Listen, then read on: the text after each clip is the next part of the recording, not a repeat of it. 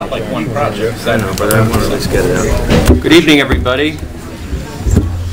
Welcome to the December 12th Board of Selectmen meeting. Tonight is also the first night of Hanukkah, the Jewish Festival of Lights, which will run through Wednesday, December 20th. And for those who are paying attention, it's 13 days till Christmas and 20 days till we welcome in 2018. It's hard to believe 2017 has flown by. Um, Tonight, we'll be focused on our budget. We'll be talking through,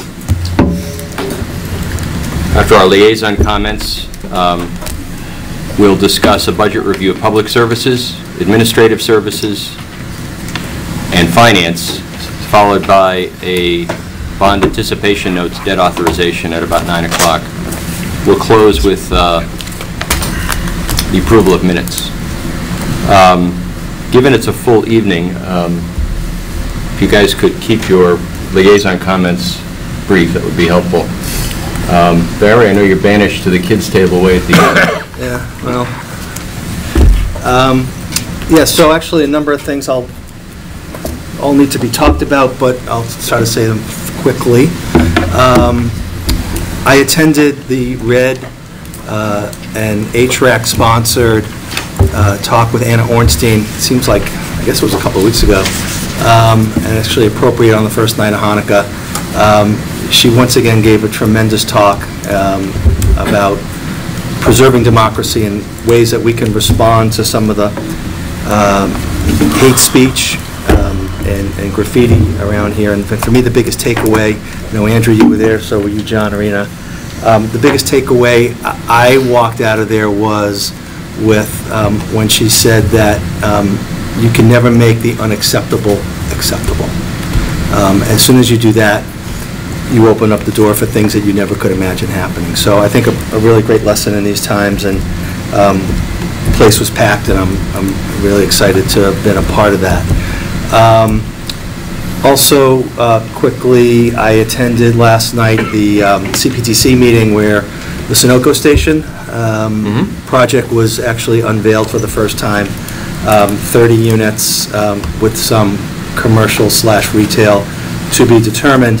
That's a project that will come before us for a couple of things. One is that they're requesting um, two to three parking spots on Main Street, which um, comes under our purview, as well as the fact that the driveway to access the project um, will be on Green Street, um, and it's less than 50 feet away from the Main Street intersection, Okay. which will also uh, require selectmen approval. Um, There's some really great things about the project, Um, you know, some interesting, uh, you know, the committee um, had some interesting comments. Um, I think the biggest challenge is going to be traffic and parking, as usual. Um, There aren't any dedicated spaces for the retail, um, so, you know, potentially talk of maybe knocking down a couple of the units to make uh, more parking for the retail to make that work. Uh, And then also some of the traffic concerns of getting in and out of there, given the Main Street traffic. But overall, um, it looked like a good development team. Um, You know, they put some pretty nice concepts together, uh, and that was just the first hearing, so more to come on that. Um, Also, what I wanted just to sort of put really quickly um, before the board, I don't know if it requires a formal motion or not, um, you know, I I kind of, like everybody else, really read the comments um, on our survey and really thought about, you know, what are some of the things that we as, um, you know, on the select board can do to kind of not only build trust, but uh, accessibility and accountability. Uh, And one thing that I thought of that would be really easy to implement uh, um, and also move in that right direction is the fact that we hold office hours once a month, um, which essentially means that each one of us does it twice a year. Um, I don't think it'd be- be necessarily a bad idea if we held office hours, maybe starting in January, before every meeting. This way, we're more accountable, um, we're more accessible, people will know that before any select, uh, select board meeting, that they can actually come and, and access uh, one of the members to talk about anything that they want. So, again, it's, it's it's not anything formal, but I just want to sort of put that out there as Okay. something to think about and noodle on, and hopefully, you know, really easy to implement. So, that's all, Mr. Chair. Thank you, Barry. And for those watching at home, we're we're suffering from a lack of electricity, which is why the uh, order of the seating up here is a little uh, different than usual. Um, Andy? Just trying to keep you all awake.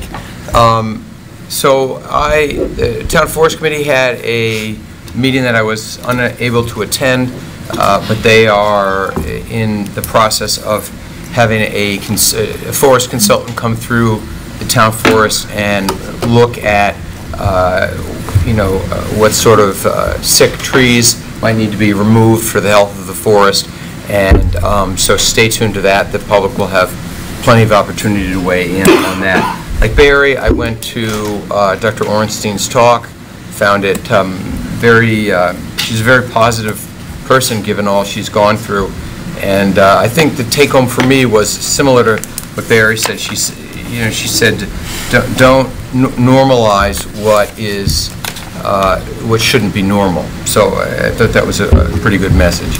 Um, And I think that's, and and I I agree with Barry, I think having um, office hours every time we meet, uh, at least for the, during the budget discussions and after that is a good, it is a good idea. I'd be, I'd be willing to do it. Mechanically, it might be easiest if the same individual for that month just did it both months, or if there happen to be three meetings. I mean, December is going to be a little interesting with all the budget meetings, but Yeah. True. we can arrange. Thank you. Yep, thank you. Dan? I'll be brief, no report. John? No, I'm, I'm clear. Um, Bob, any comments? No. Okay. Um, Any public comment? Chief? Sorry, I don't mean to be rude, but uh, we're all face- all facing the wrong way. Good evening. I think myself and the fire chief would like to thank Austin Prep and Dr. James Hickey. They had last Friday morning a blue mass uh, to honor first responders of our- of the town of Reading and also of parents of Austin Prep students. So again, I'd just like to publicly thank Austin Prep. I as well like to thank uh, the students of Austin Prep and Dr. Hickey and the uh, staff. They did a wonderful job with it. It was, it was a nice event for, I know the firefighters and and the police officers and the first responders who were there. Just want to publicly say thank you. Thank you. Thank you both. Any other public comment? Okay. Bob? Finance Committee to order. Yes, Peter. Great. Bob? Okay, thank you, Mr. Chair. Does everyone hear me okay? If if you can't hear during the meeting, just raise your hand or yell or something. Um, I'm going to give a brief, just a few minute introduction before uh, the three uh, folks on my right speak. Um, The budget process is a little bit different this year, and I'll describe how and why. Uh, The Finance Committee specifically, and and some in the community, asked that we start earlier this year and make it more of a public process, if you will, early on. So we're here one month earlier than we normally would.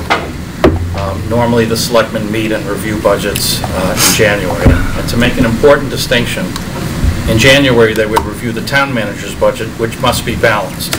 What you will hear tonight is the department heads' requested budgets which do which do not need to be balanced. Um, This is a discussion the department heads and myself and my predecessor have every November, December. So we- we're just inviting you into that section of the discussion, I guess is the best way to put it. Um, We were also asked to spend a little bit more time um, discussing past cuts and uh, the idea of level services. And uh, Dr. Doherty and I have spent a lot of time, including breakfast this morning, discussing that concept. And so you'll see from the town over the next uh, two weeks, a little bit more of a similar style to what the school department has historically done. Um, I was also asked to encourage slash allow department heads to speak more freely. That- That's an interesting comment. Um, So again, the re- the results uh, below, I mentioned the selectmen. Uh, As you'll see uh, at the end of my remarks, the requested budgets speak for themselves in terms of level services and past cuts.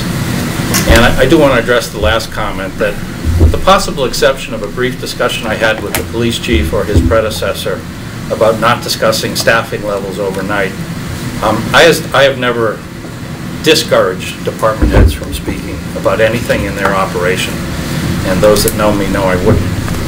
Um, But I have encouraged them to speak a little more freely this year. And because you will hear from them about budgets they asked for, perhaps the tenor will be a little different instead of what the mean old town manager let us have. You'll, you'll hear from them a little bit more honestly, I guess, uh, what it is they really need. Um, I will say that culturally, um, all the department heads, uh, you know, present and past, have just been very reluctant to spend money and to hope for something that's not realistic. Um, There's really not a lot of sense in in getting all worked out about a budget you'd like to have when you know you can't have it. So some of the um, difficulty, I guess I'll say, in not discussing cuts in level services is as a practical matter, all the town department heads knew it wasn't possible. Um, So they just didn't complain about it, and they just moved on and did the best they can. Um, I've said it in the past, it it deserves being said again, because there's always new in the audience, in the audience. Um, You might find a better town manager and department heads individually in the Commonwealth. You will not find a better team. Um, The department heads work together as a team as well as any other, I- I'm sure, in the Commonwealth. What I asked the departments to do a month or two ago was to, again, it's more of an art than a science, but create budgets to approximate service levels from some point in the recent past. I've I've put down five years, it's not a mathematical exercise.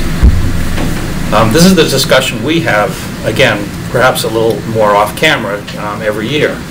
And it's been done every year for many years.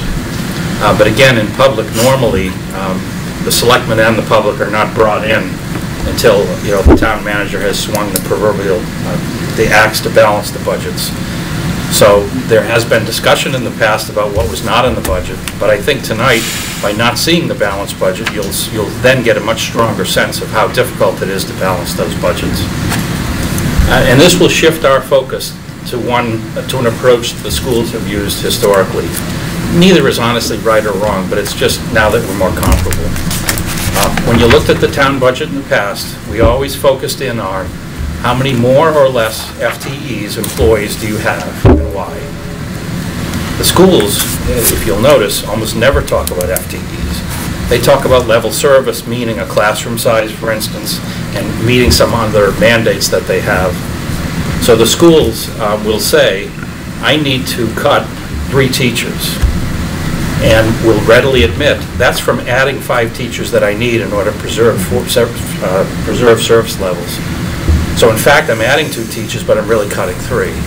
And that's semantics to some degree, but what you'll hear from the town uh, tonight is the addition of those five teachers and why it's so important in, in our departments.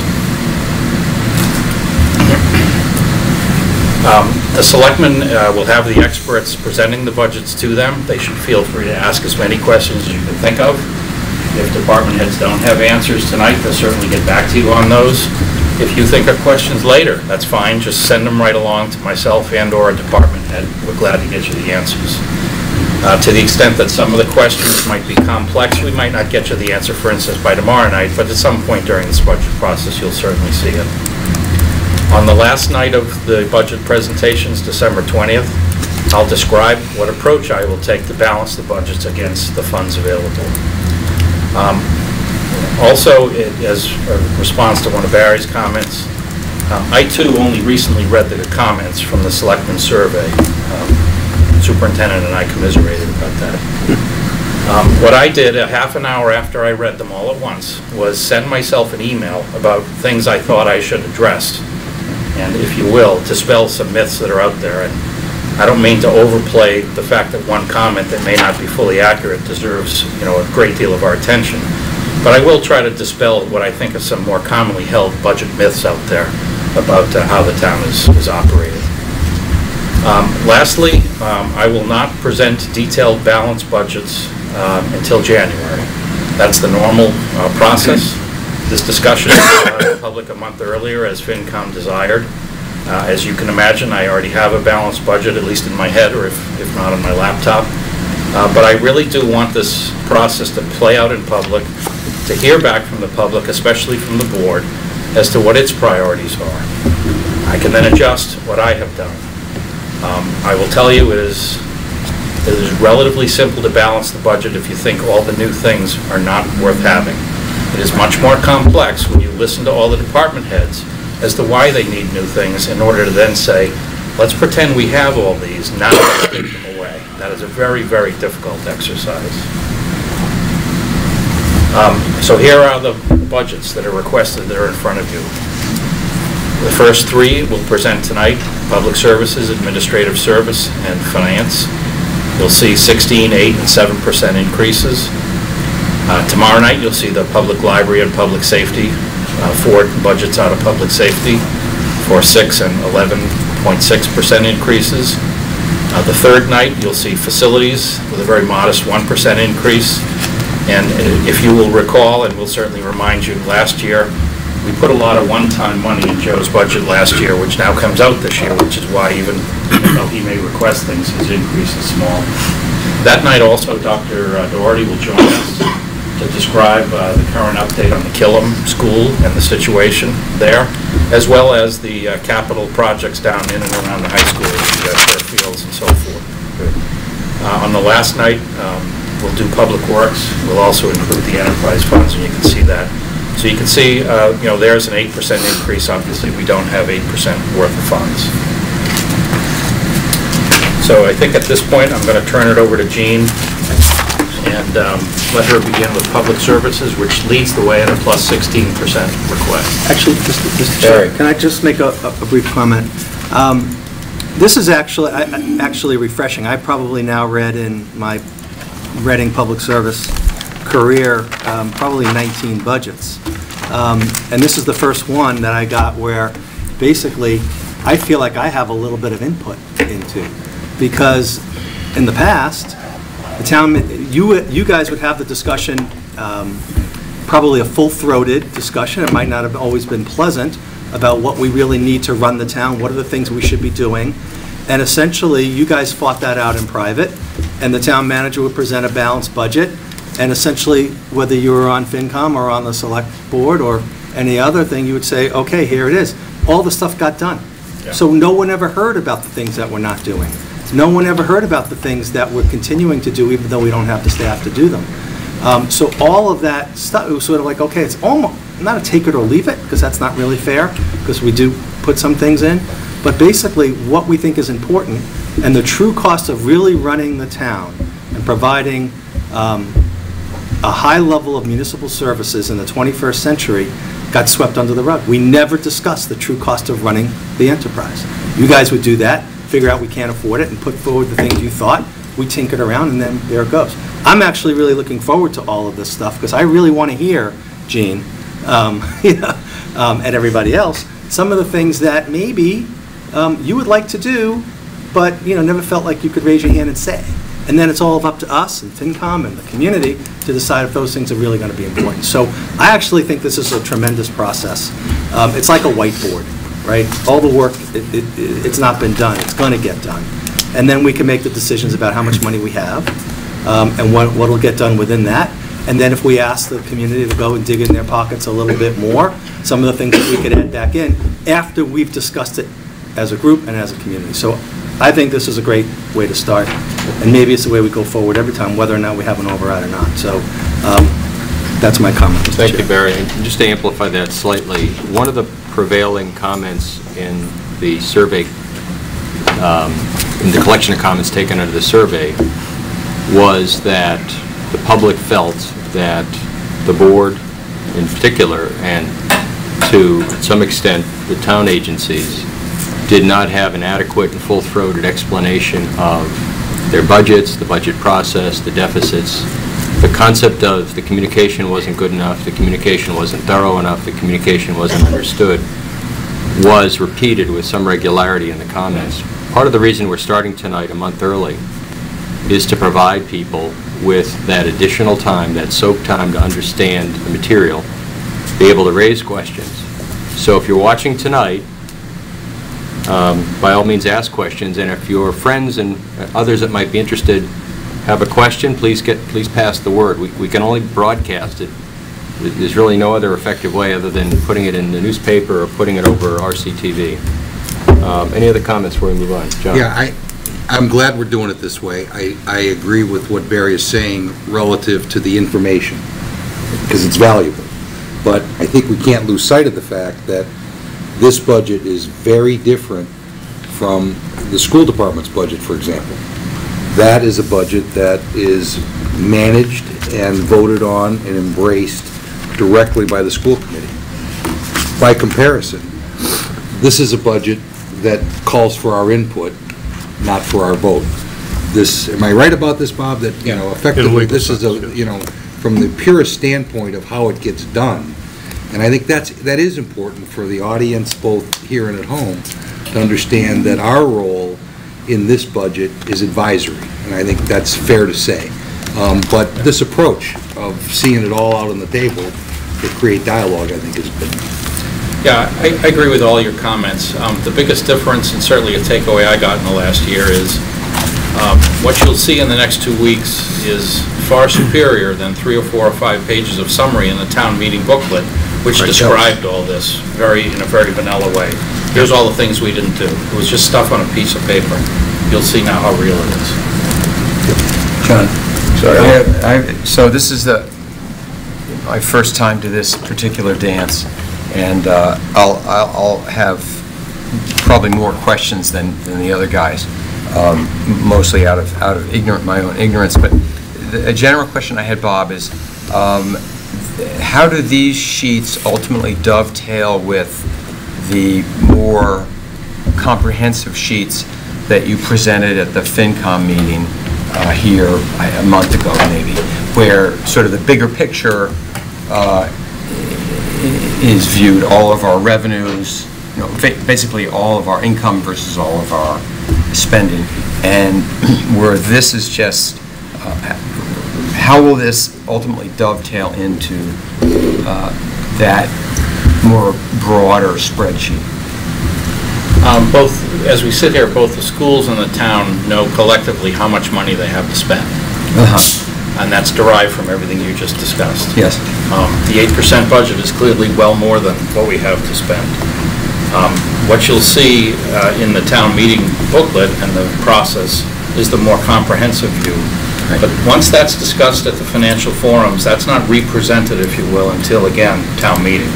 FinCom has seen it, they understand it. Um, We could go over it again, certainly, but there's generally a historical uh, lack of a need for that. Okay. So and- you'll see it all tied together. Honestly, the the most comprehensively will be for town meeting. Okay, so we're not going to see accommodated costs associated with any, any? You'll hear them discussed, but you won't see them in the FinCom format, I guess. Okay, I get it, thanks. Jane, Okay, thank you. you may want to pull the mic up there. All right, how's that? Okay. Going first has its challenges. Thank you, everybody. Um, My name is Jean Delios, for people who don't know who I am. I am the department head for the Public Services Department, and I'm going to walk you through um, the budget that was created when the town manager said, put down what you think is level service. Create what you think you need to run your department. And um, I found that to be um, a message that we hear repeatedly. But to the town manager's point, we know that times are constrained. Revenue is, is, is a challenge, and expenses are out of control, especially in the areas that we all know about health insurance and whatnot. So I will take, take the blame for not asking in the past, because I realize, I've been doing this a very, very long time, I realize that there are other important considerations. So I present this budget to you not out of arrogance and disrespect.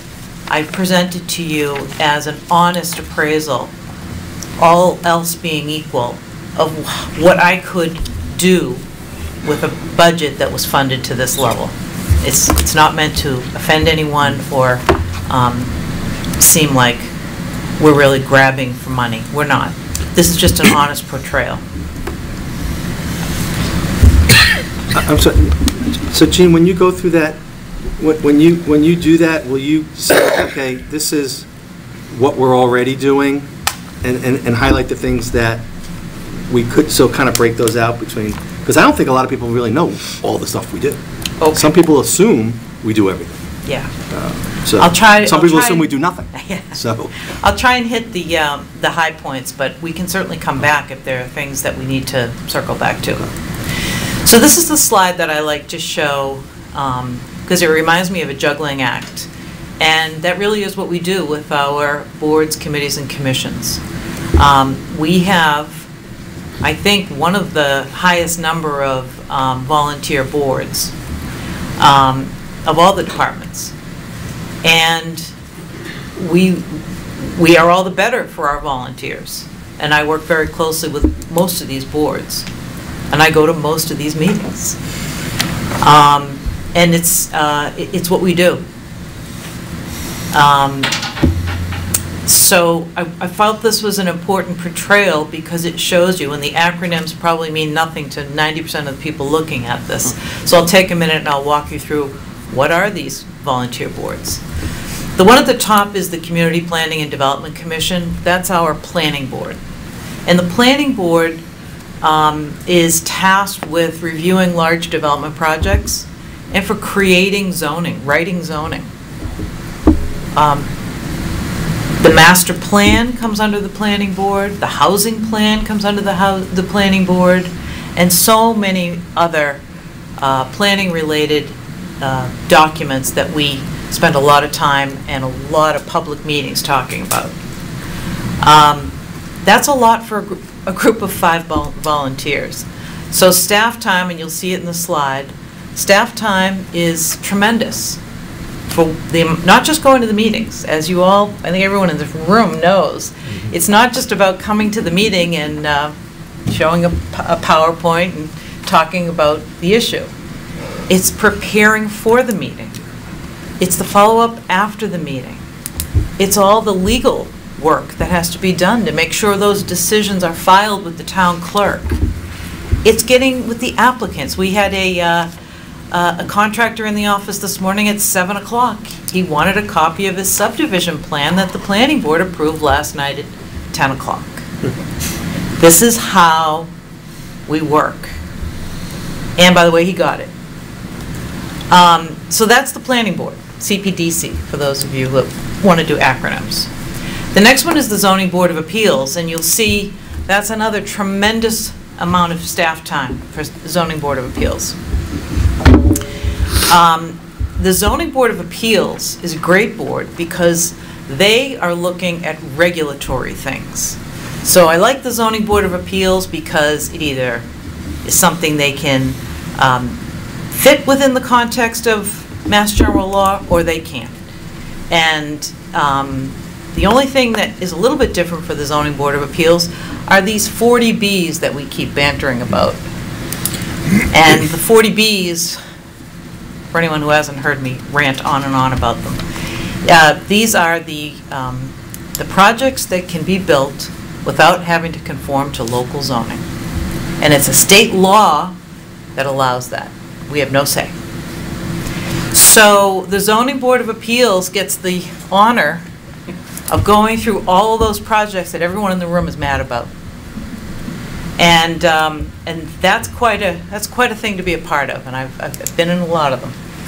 So uh, if you're ever having a tough night going to sleep, put on the zoning board of appeals, and you'll be glad you weren't there. Um, The next one is the Conservation Commission. The Conservation Commission, i- they are a group that um, deals with wetland regulations. And we have both a state wetland act and a local bylaw. And there, we have two for a reason. Um, There's a little more flexibility with the local, which is kind of nice. But they go in and they review these elaborate plans for people who want to do things in areas that were never meant to have construction on them, and they figure out ways to do it. So that's an amazing group. Uh, The Historical Commission is different from the Historic District Commission, right, Virginia? Um, And these folks uh, do all kinds of things related to, um, the Historical Commission is looking at uh, all kinds of things that are involved with the town. Historic District is more looking at the actual district and regulating from that point of view. The Board of Health, um, I've been very involved in the Board of Health for the past seven or eight months. I go to every Board of Health meeting. I know more about ticks and um, flu viruses than I ever thought I would. Um, And um, I'm I'm very proud of the work that the Board of Health does and the the team uh, staff that that uh, works with the Board of Health. Um, We're lucky that when you go out to eat in Reading, um, we have a very diligent team that's out there making sure these restaurants are being looked at and inspected, and, um, and and that makes me feel very good. But uh, public health is a, is a huge area that we can always do more in. We had the, um, the tick presentation here, and it was very well attended. I never saw so many people interested in ticks. It was a packed house. So um, you can only imagine the things that we could continue to do from an education point of view on public health.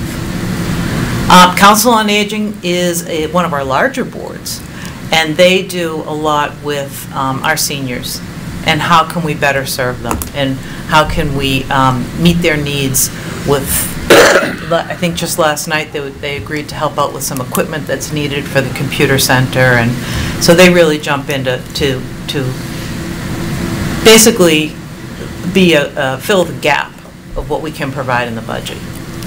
And then we have the Recreation Committee, and you'll see the slides on all the activities that we do in this town. It's tremendous. Um, And I added one this year called miscellaneous working groups, because we've, we've kind of snuck another ball in the air. We call it working groups. Um, The working groups, we we meet and we talk about zoning. We talk about, uh, we have one that we're doing wayfinding. Anybody know what wayfinding is? Um, This is a whole, this is a whole signage and branding exercise that we're going through with an urban designer through a grant. Um, So we, we get these sneaky little working groups going because uh, we don't want to make a big fuss about having another board, but we need a group of people to get together and start to generate some ideas. So um, that's, that's sort of what we do um, outside of the regular town hall hours. I got very colorful with this one. Now I have to remember my colors. Um, So this is the Public Services Department budget as presented tonight. This is not how we are in real life. Um, Of course, I'm the town assistant town manager, department head. Um, I have a community development director who um, has the night off tonight because she covered the meeting last night. We split them up. Um, She's also the assistant department head, and we're blues. Um, I threw a purple in, which is the community services director, uh, and that's the position that we lost. So I'm going to say a couple of times in my presentation that this budget is about restoring previous cuts.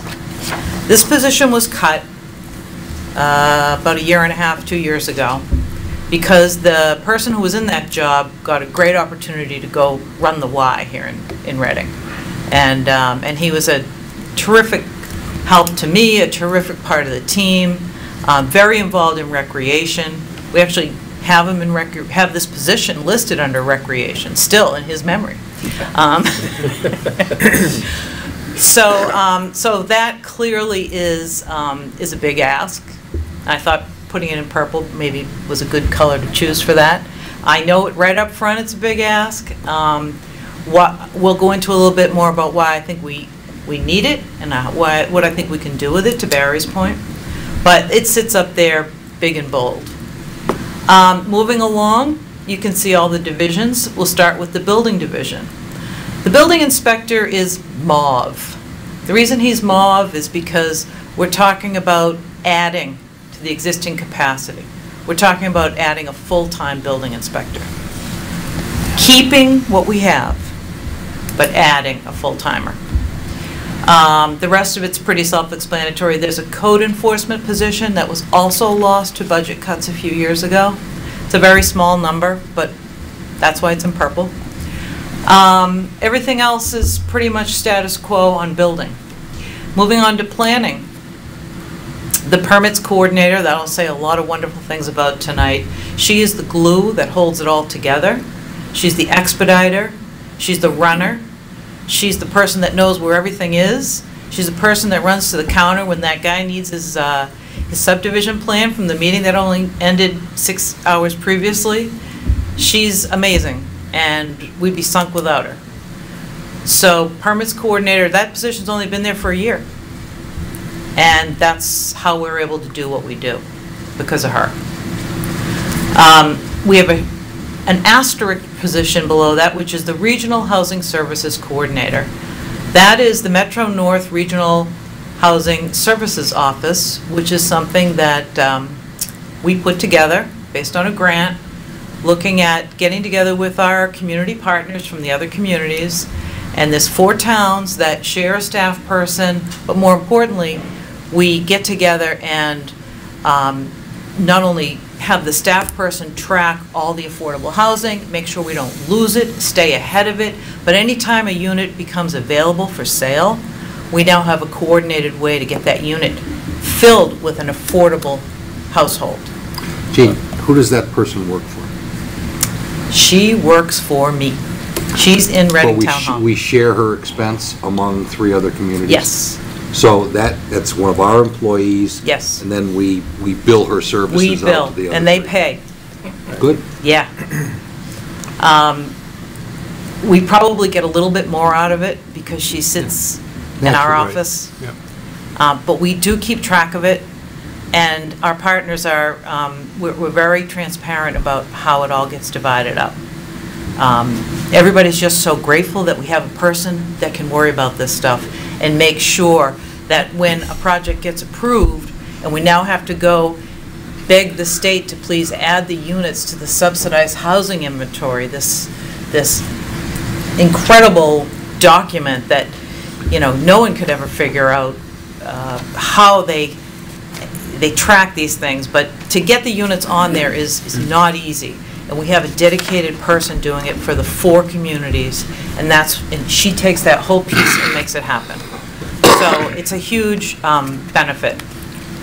Um, The next purple, which is. Jean, uh, yeah. I'm sorry, if I could just, Sure. before you get too far ahead, um, I'm, I'm just looking at the spreadsheets that Bob sent out um, for the, the various, I think, uh, positions up there that match uh, down here. And I'm trying to understand, we have currently, uh, build, inspection, building inspector is listed here. Yep, Um, And that is currently one person? no, It's currently two people. no. It's currently one and a half. Well, can you hold the thought, because um, I'm going to go into some more slides that will kind of dice up where we're at. Okay. We have, right now, we have a, um, a staffing level where we have two part-time building inspectors that were both um, the building inspectors in their communities. Uh, One was in Reading for many years, retired, came back half-time. Another one was in Peabody, retired, came back, worked for us half-time. And then I have another building inspector that worked for many years for Woburn. He works for us eight hours a week. So it's kind of like 19, 19, and 8. Okay. And that's all lumped together under building inspector.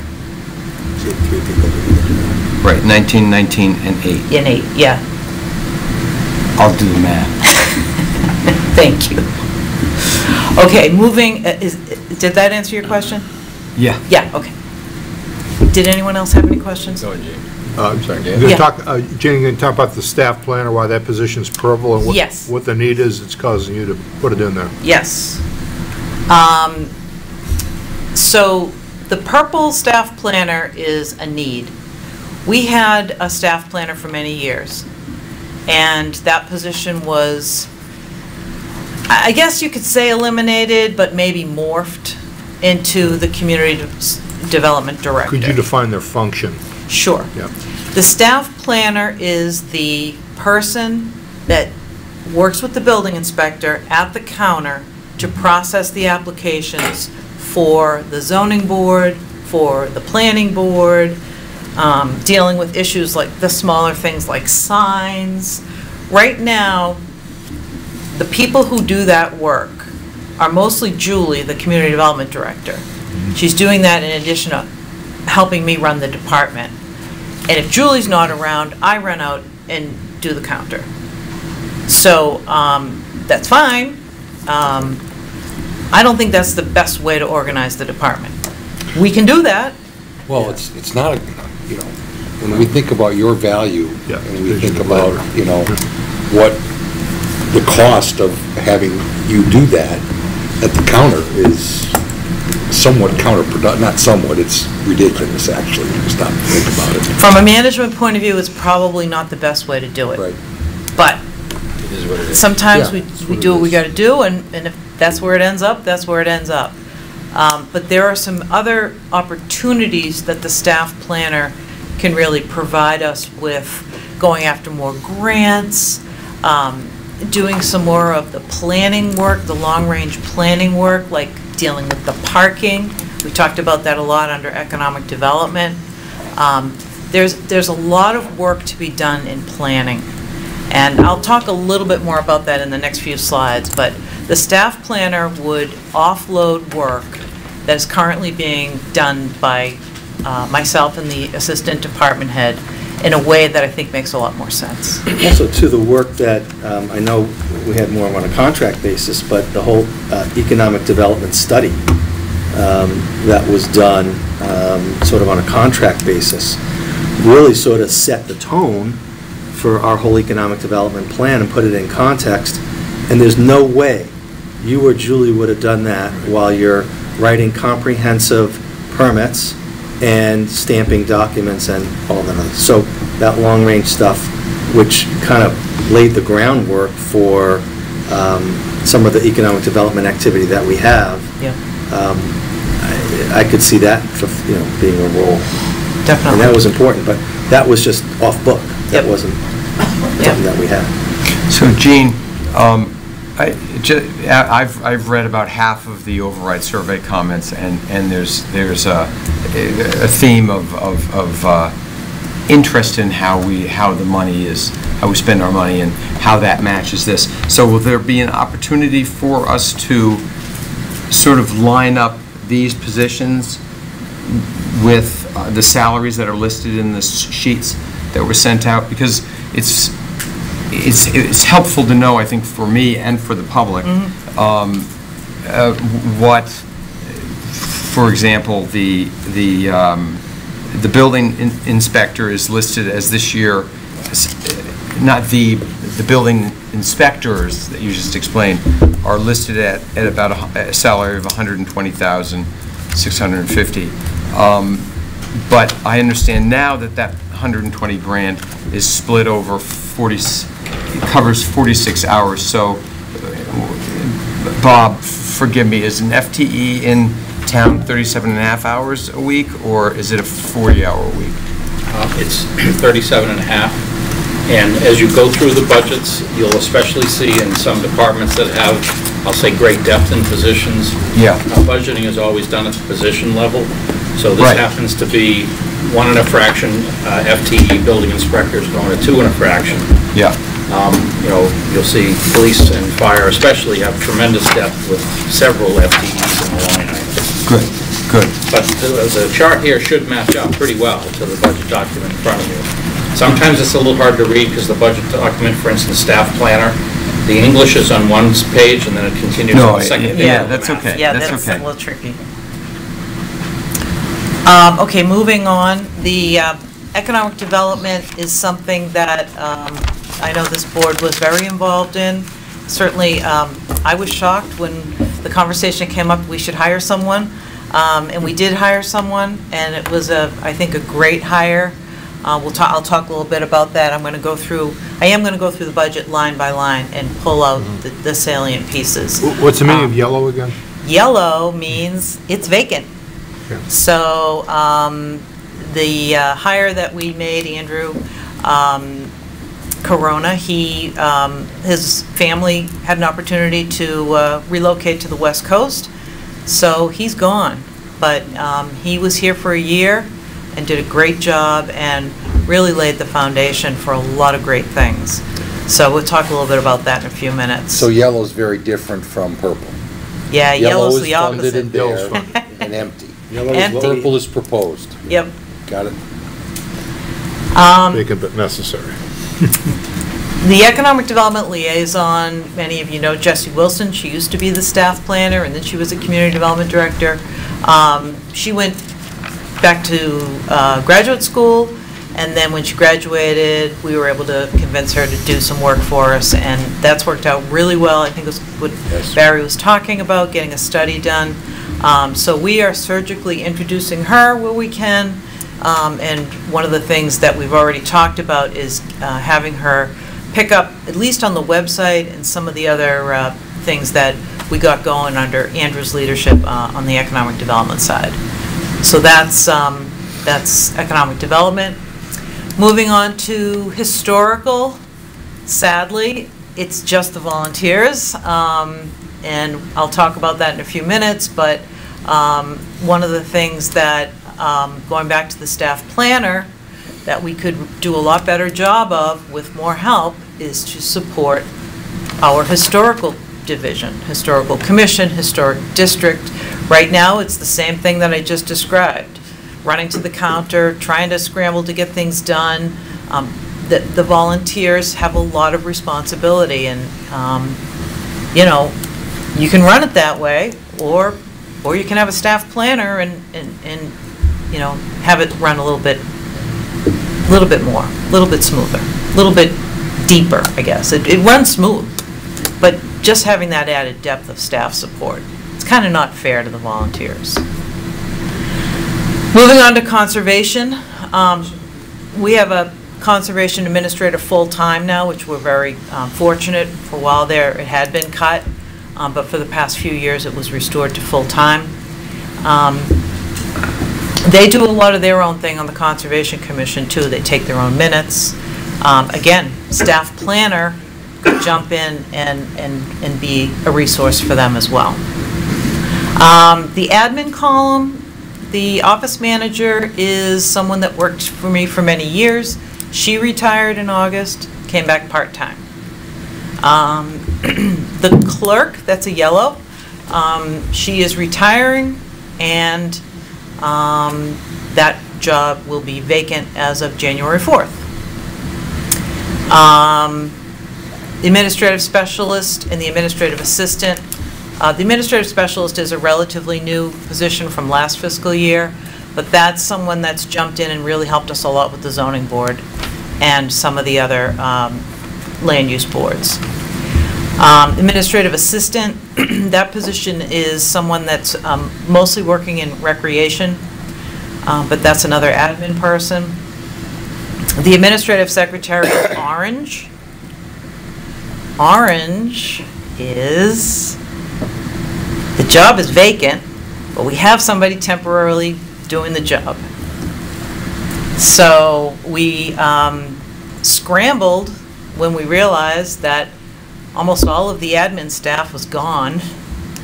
And uh, it was a a gift from heaven that we got a temp who actually lives in Reading and knows a lot of the people in the town hall and is jumping in and doing this work. And we don't have to have- make a commitment. Um, She doesn't have to make a commitment, but the work's getting done and it's working out great. So she's a So- part-time person? No, she's full-time. Benefits, whole works. No benefits, just um, hourly contract temp help. Okay, contract help. Yep, yep, contract help. So that worked out superb. And she's shadowing the clerk for the next three weeks, so we can um, make sure she's uh, up to speed on all the stuff the clerk does, And which is Jean, a it's that lot. way because the individual does not desire, this position's funded, true? Yes, that administrative secretary left. She Correct. retired. But the reason that the new individual hasn't stepped in is it's her preference not to take it on a... We longer- could, we didn't have the luxury of time to go through the hiring process. I process. see, okay. So you I still have a process. begged, I see. bleeded, pleaded, and, and lit religious candles to HR to try and get me somebody. And it worked. And we got a temp, and that's, that's been phenomenal. Moving on to Elder and Human Services, um, the administrator is another mauve, because this is adding to the existing position that's already funded. This is the last position from four or five years ago, when the division heads were cut to half-time. This is the last position to now request to come back up to full-time. And this is something that we've talked about, and we've, um, when we've had extra budget, we've snuck in a few hours here and there, not snuck, but we've added hours where we can afford it, where we have savings or vacancies. So we've, um, we've surgically morphed this position into, right now, uh, it's about 30 hours. Town meeting was generous enough to give us a few extra dollars, too, to make that work. Um, In this, in this model, it calls for a 35-hour-a-week position. So you want to bring it to a full-time position Full-time. to service the fastest-growing segment of our population? Yes, it is. Yes, it is. We know that because we studied it this summer. UMass uh, We've been Gerontology studying it for years Institute. together. I mean, so, yeah. We have, we have. But, but the experts told us we were right all along and that, that we should be paying attention to this. So we, we thought, no time like the present. Uh, Moving on, these, um, the, the, all of the other positions um, are full-time positions. They're positions with people who've been them, in them for qu- quite a while. Um, There's really nothing new there. And then, of course, the Council on Aging. Um, The Health Division, we have the health agent as the division head, um, another orange, which is the public health nurse, that's another part-time position.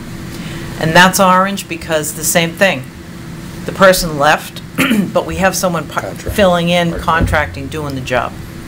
Jean, was the uh, person who left a full-time person? No, So 16 it- hours It a week. always was a part-time. It was always less than 37 and a half, different variations along the lines, but we think 16 hours a week works. Is it your intent to keep that as a contracted position? No, we've started the hire- hiring process. We actually have interviews tomorrow. But we have coverage, so that's the good news. And I didn't have to beg anyone. Um, The next one is the health inspectors, and um, uh, that's another, that's kind of like the building inspectors. That's uh, an interesting combination of folks that um, help us out with inspections. So you have more breathing people than FTEs? Yeah. That Yes. Combine into- Yeah, but thankfully, we have a lot of experienced people that come and work in the off hours, which works out really well for health inspections, because restaurants don't open till 5 o'clock. So if someone works a job in XYZ town and comes over at 4 o'clock, that's perfect. Jean, do you find that if, if someone's, you know, we might have three or four people doing it a half, a third time, that scheduling becomes a problem and that maybe they might have a, more of a full-time commitment elsewhere that they prioritize over Reading, that we're maybe scrambling either for coverage or it it would be better if we had um, our own person or having lots of people cover it, is that a better model because of vacations and things like that, that you can plug and play a little bit better? Yeah, What's the- health What's the is- best way? It's a little unusual with health, because so much of their stuff happens after 5 o'clock. So I really like the idea of having a couple of part-timers who can come in in the later hours of the day and go into these establishments and do what they have to do. Um, The good news is that the health agent can do the inspections, can, if anything comes up, like, you know, that MWRA water main break we had a few years ago, the health agent can step right in a- as a- an appointee of the Board of Health, that position is queued right up to take action. So we won't miss a beat. Um, And uh, so I feel pretty, pretty confident that we've got good coverage there. Um, Moving on to recreation. Um, The recreation administrator, uh, she's been in that position now since uh, a couple of years, since the um, community services director um, moved on. And um, the recreation coordinator underneath her is a part-time position. Um, That's something that we'll be filling after the first of the year, start that hiring process. Um, There's an outdoor rec coordinator, that's a seasonal, and that's paid. You won't find that in the uh, budget numbers that you have, because it comes out of their revolving fund, but I wanted to put it up there so you could see there was another position. And then the last, but certainly not least, is the Veteran Services, and um, we're, we have um, our Veteran Services Officer, full-time, does a great job, he's um, uh, really uh, out there in the community, and I'll talk a little bit about some of the things that are going on with veterans. Um, So that's basically, um, in living color, kind of what this budget looks like. Jean, would it be possible just to get a, a a color wheel to describe for posterity what these, Yeah, because I probably won't remember either. Yeah, we can do that. Thank you. Yeah, if you put that up in the corner and send it to us, that would be great. Sure. Um, so really, our budget, our operation is pretty lean and pretty flat. Um, we've had to stop doing a few things because we just don't have the bandwidth. So like, for example, recreation, um, their focus is on programs. And the Fall Street Fair, uh, we don't get that involved in it anymore, and thankfully the Rotary picked that up. So that's kind of the new model. Um, What can we, what can we, uh, you know, back away from? And we can do that. We could back away from things. Um, And certainly in this case, it's not a big deal, someone else is taking it. But um, that would be the direction that we'd be going in with a um, lean and flat public services. Um, The collaboration, the good news is when you're um, on a shoestring operation, you, you work together more. So that's sort of the silver lining to that cloud, less work in silos. Um, We are looking really closely at where the resources go. Um, We talk a lot about who to send at what meetings. Can I stop you for a second? That increased collaboration. That seemed to be happening when John Feudo Mm-hmm. was in the spot that you've indicated, you know, and I know we didn't fill that spot, Nope. but it seems like that happens when you've got someone in that spot.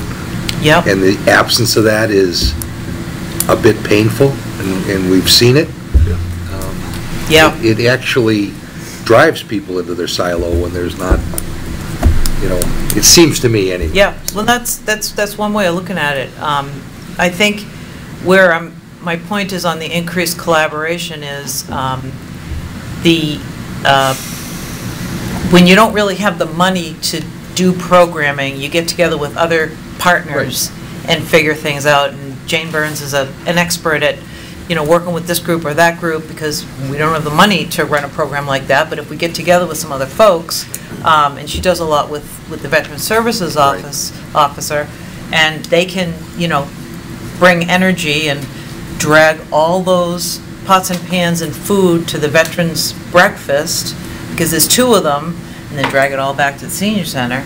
Um, So not working in silos in, in that sense, um, when you have limited resources is, is, is one thing. But certainly to your point, when you have more um, depth at a higher level, you can drive that even Well, you- more. when you've got the oversight person, they see the whole picture. Yep. And it makes the collaboration more fluid, It does. and it makes the efficiencies improve. Mhm. So, you know, things that, things don't get lost, Right, um, I think. And, you know, there is whole, a whole lot less silo work. yep, Yep. When you have somebody with the oversight. It- definitely. It's clearly been absent, you know. And I don't mean that in a bad way. Yeah. It's just, you know, it's a reality of making do with what you have. Yep, yep.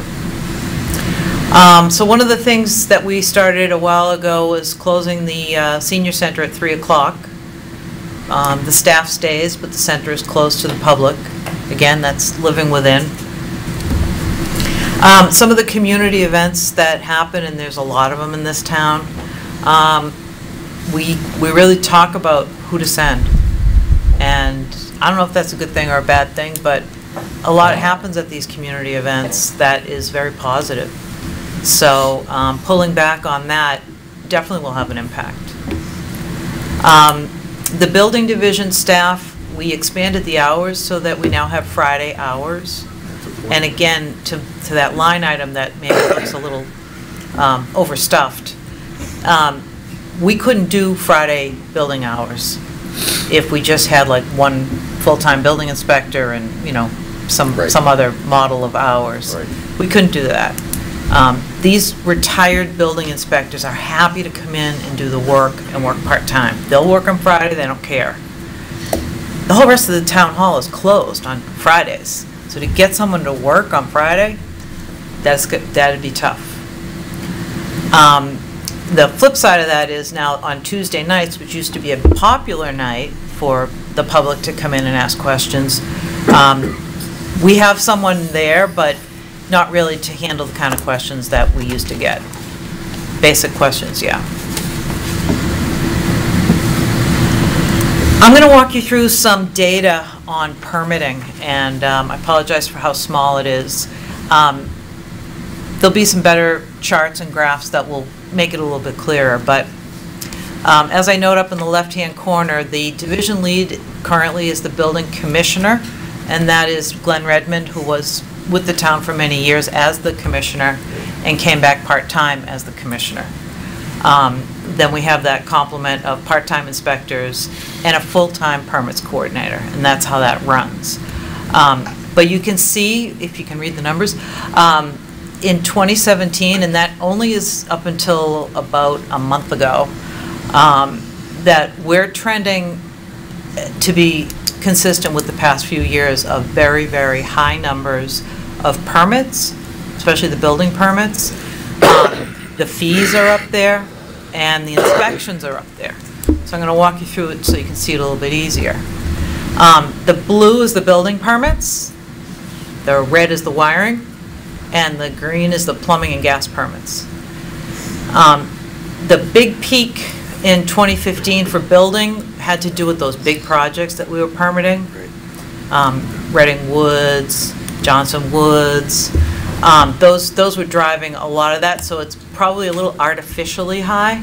So is the number we're looking at for this year more the norm, in your opinion? Yeah, yeah, the past, this year and the past few years is about where we're at. We issue about a 1,000 building permits a year. But with all these projects that we're now talking about, 18, 19, and 20, you're going to see those numbers mirror 15. Yes. Close to Right, it. right now, I'm looking at permitting in 2018, in the calendar year 2018. I've got 16 major projects that I'm looking at permitting. Major. That's, um, that's 50 permits a week of one form or another. Correct.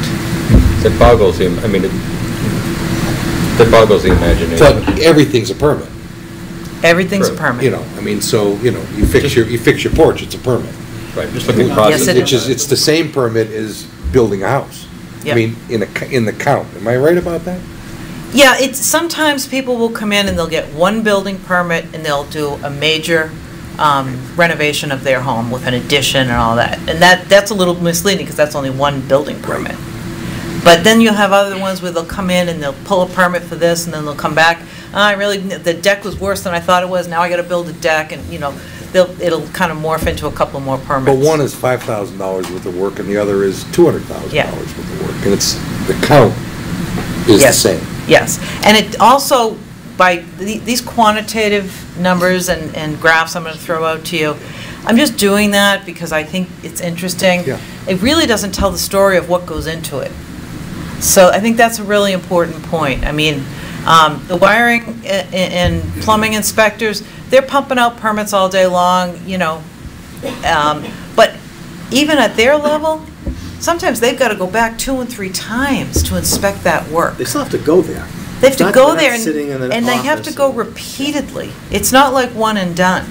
Well, and then when they find something that needs to be fixed, then that means it's a second Right. trip and maybe a third trip. Right, And, you know, when you mention 16 major projects, that's not like fixing the porch. no, No. I mean, even though, you know, technically it's one permit, I mean, that, that keeps some, 16 projects keep some, a full-time person Yep. busy all year. Um, yeah, Could, for sure. yep. Um, So Jean, on that graph, except for the building permit burp that you had, that you explained in 2015, 16, it looks like uh, since 2012, 2013, um, the the wiring and plumbing permits are somewhat flat.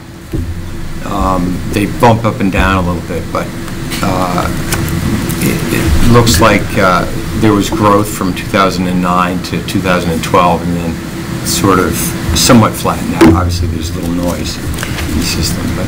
Yeah, there's no question that um, we see this kind of activity in these kind of markets. When everything tanked in 2009, you know, you can see it in the, in the chart, we we weren't that busy. Um, But after the recession, things got busy and people started pulling permits and doing work, so, um, you know, it's hard to know how long this will go in this direction, but I can tell you what I know about 2018, the projects in the queue, we're going to have a busy year. So Jean, in terms of, I know we have the permits fund, um, a- and I think those are more dedicated for some of the larger projects, so, you know, where we might be talking about adding some costs on one side, we've got a source of funds to pay for it that may not necessarily be from the levy, is that true? I better answer that. Yeah. You know, I, I looked into that um, maybe six or months or so ago, Barry, and I'm surprised, since I've been here, what I learned that I missed. Um, Town meeting has to authorize which projects' permit fees go into that fund. And I, I somehow didn't realize how many times that had happened in the past. Uh, I must have been paying attention.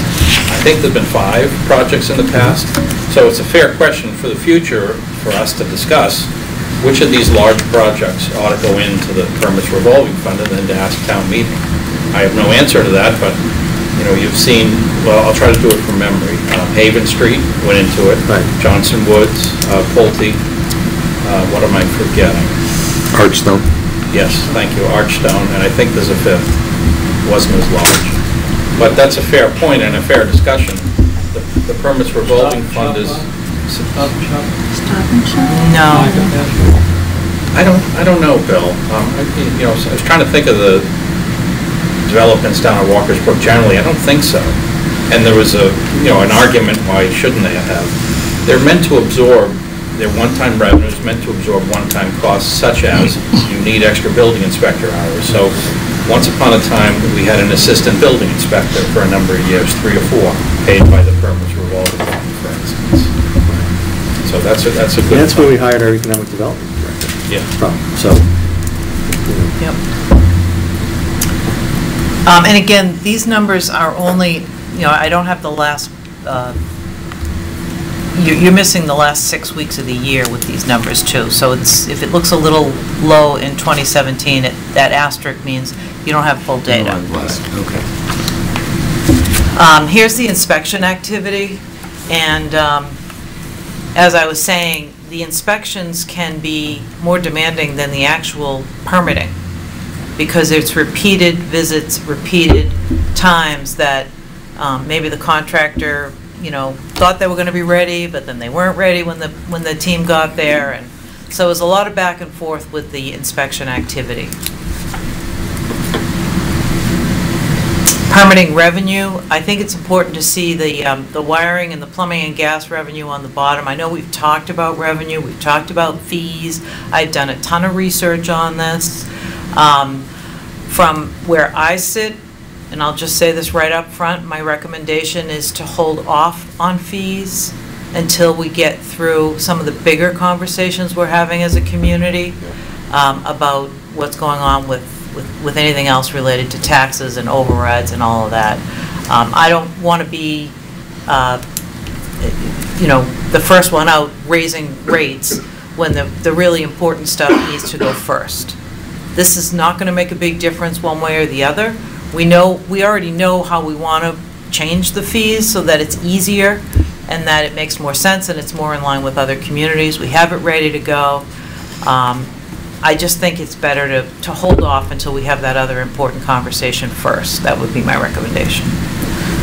Although Um, we, we did have, we did raise the parking fees, the depot parking fees, Mhm. um, uh, with an eye towards making it uh, more similar to other communities and to reflect the costs Yep. involved.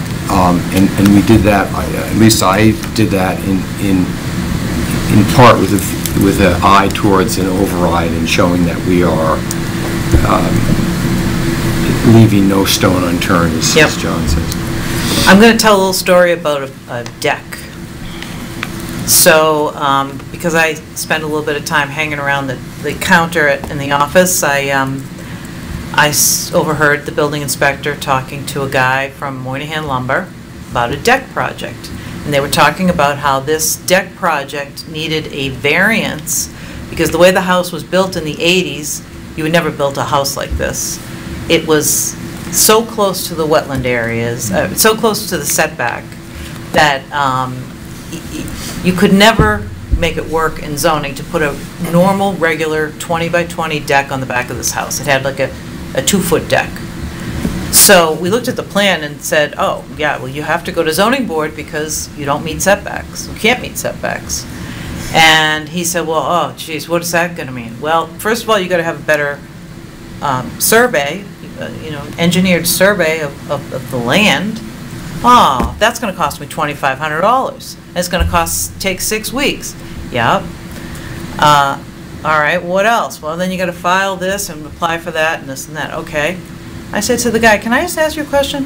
How much is the deck? Uh, what's the cost? I said, yeah. Just curious. It's 48,000. Deck. I said, for a deck? oh, it's the composite material and this and that. I go, yeah. That's what it costs, 48,000. That's the labor and the materials from Moynihan Lumber to go out and build a 20 by 20 deck. That's crazy. I, I was shocked. That's the kind of projects that we see every day. $100 a square foot. Crazy, crazy things that you can't even imagine the cost. I hope you pass that along to the tax collector. Of course. Oh, yes. So when we talk about costs and we talk about processes, efficiencies, um, everybody always comes to the counter with a plan that they got when they bought the house 25 years ago. The plan is never good enough. Somebody has to go out and spend money on an engineered plan because there isn't all the information that we need to understand what's going on. So I feel like that cost alone is like a right up front whack that the applicant gets before they even do anything. And so to add to the fees, I think we should, but I'm just a little reti- reticent to, to do that right out of the gate.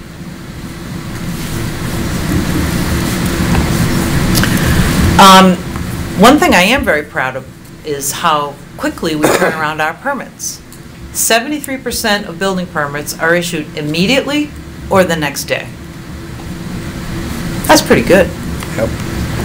Um, Is that because, has the permits coordinator been sort of the driver on that? Is that Yes, kind of what drove that? yes. Because when we did our EdSat, that was one of the biggest complaints about, it takes forever to get anything approved in this town. Well, it doesn't, Okay. unless you have one of those lousy plans, then you do. Right. Which, which we then basically modified for free.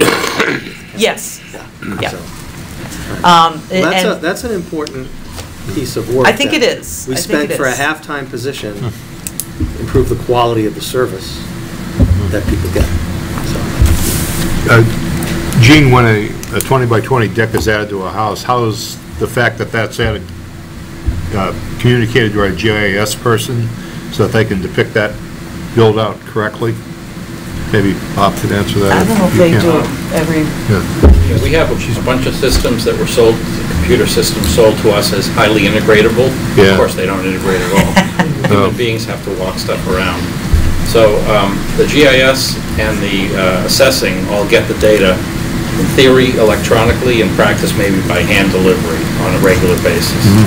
Um, So they can both, you know, Kim can map it if she needs to for the wetlands, which is pretty rare. It has to be a big project for Okay. for her to really be impacted. But more importantly, the assessors know there's been a deck added, and generally in the reval every three years, now every five years, they capture that. Okay, thanks. Jean, is there a story in the, in the um, 27% that's, of those that are beyond two days? Is there? there- yes, those are those people with those rotten plans. I see. Um, and other things that, you know, the Incomplete plan. contractor doesn't have a license, or forgot to renew, or it's some minutia thing, or, or it's a big thing, um, but it's something that, it, it's just a miss. Um, Every once in a while, if it's a big project, the building inspector needs to spend some time looking at it, or if it's a question on zoning, we'll get together and we'll look at it. But um, most of the time, it's small stuff that hold people up, and, um, and so I'd say, um, but there might be other things. And um, we, we're happy about expedited permitting as one way that we've improved. But I'm sure there are other things that we could do better. And what I am planning on doing is um, issuing um, a survey, we already have it drafted, and um, asking our applicants, contractors, homeowners, we have the database, thankfully, because we have our software program. Um, The, the Kims, Kim, Kim the permits coordinator and Kim the GIS coordinator, have already put the list together for me. And we're gonna, we're gonna ask. Tell us what your experience was like. Good. Tell us what you think about our fees. Tell us what you think about how we do things, and what can we do better? So do, is, I was thinking, is that a rhetorical question that you put up there? Do do you kind of know some of the answer in your mind about if we were able to do A, B, and C, we'd be, bet- I mean, do do you sort of have that, or, I, or are you still kind of just sort of searching and? Um, I'm, I'm kind of hoping that we'll get people that will speak to the first bullet and say, I got nothing to say, I got my permit right then and there. I'm hoping that we'll get some of that. I think we'll get some of that. And I know that our team does a great job, so I think we'll, we'll get, we'll get some positives. But I know that there are always ways that we can improve. And, um, I want to know, what are those ways? And I, I'm not sure I do know. I, I certainly feel more comfortable asking the people who've been through the process, what was it like? And if I called them up and asked them, they wouldn't tell me. Because I've But they hide done behind a that. survey, they might, they might. I have done that. I said, how was it? Oh, it was great. Okay. They don't want to, they don't want to get messed up the next time they come in for a permit. So I get that. That's why I like the survey. And I'm really glad that we can go back uh, two, three years to, to the database of who pulled a permit. I I just want to add that when, um, when Jean got here shortly thereafter, um, the way the process worked was the building inspector looked at permits once a week. When the building inspector was done, then conservation looked at things without being flagged, had to go through every single one to see, does this affect me? And so on down the food chain. So not surprisingly, it took three or four weeks for any permit to get approved. And that's actually very typical in cities and towns. Um, This is a phenomenal difference, but the legend still lives on Right. from those days, and that's why the survey is so important. What really happened? Never mind the stories you hear, and, you know, the board will hear some stories sometimes, and then you ask the question, when did that happen? Well, that was, you know, seven or eight or 15 years ago. Okay, things are different. I think it's important to recognize that, and I agree with you, Barry. You know, the EdSat did open our eyes to a few things. This is one of them. Jean, I think the survey is a great, a really good idea. It'll it'll give you and the the board some valuable feedback. I would just caution against uh, asking people if they think about the fees. Um, Few people will say the fee is too low, and, and my wife would be quick to point out to me that I didn't ask her about her depot fee, uh, parking fee, before we raised it. So um, there, there, just be aware that that is out there. Okay. John, can I ask a quick question? Yes, Mark. I guess the, you know, the elephant in the room. I appreciate, Dean, your, your comment on, you know, hey, maybe it's not the right time to change the fee. But what would the impact be? Say you've done the analysis. What would the impact be? You're talking about 50 grand. Yeah, it's, it's less than 50,000 in the, in a year. Um, It's certainly, with the kinds of things we're talking about, it's not anything major. So to, I guess my feeling is, is it worth it to go through upsetting the apple cart for a very small return? The only counter to that would be that if we don't take all the small things, or many of the small things, it'll never add up. So I just, I think we need to talk Yeah. through what that is. Well, we get a lot like of- About 10% roughly. is what it We get a lot of angry people at the counter who are mad they have to spend $2,500 on an engineered plot plan to put a deck on, even when they're spending 48,000. That's a real story. But they're not paying the $2,500 to us. No, but Right. we're saying we need a plan, and they're angry. They're angry because they have to spend that money and have that delay. And that's And- before they write the check for the permit. That's, bef- we haven't even gotten to that yet. Well, right, check. Right. We haven't even gotten to that yet. We can't, there's not much we can do about that, them's, them's the rules, but, but I, I I think that we do make sure, we, I- we need, do need to try to cover our costs with, with fees in this area, um, especially when we're delivering, sounds like, faster service. Yeah, it's, uh, it's, it's something we've spent a lot of time looking at, and um, I agree that the fees should be adjusted. It's just a question of when.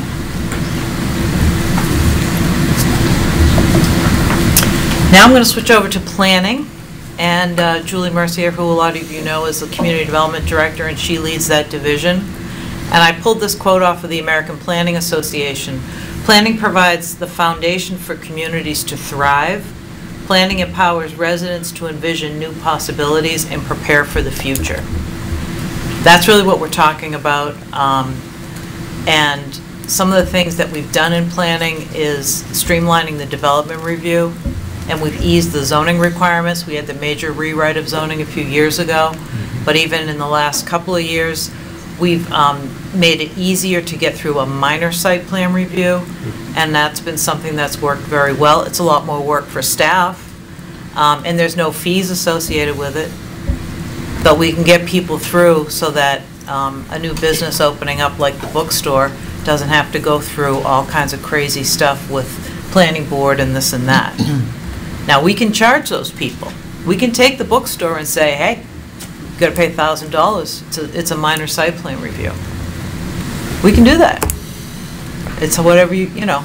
I think that's ill-advised in light of the economic development plans that we've tried to work on.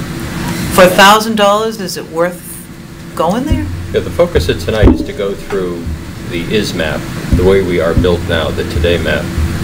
There's probably work we can do around the edges, but the primary goal here is to get the baseline gap around town operations.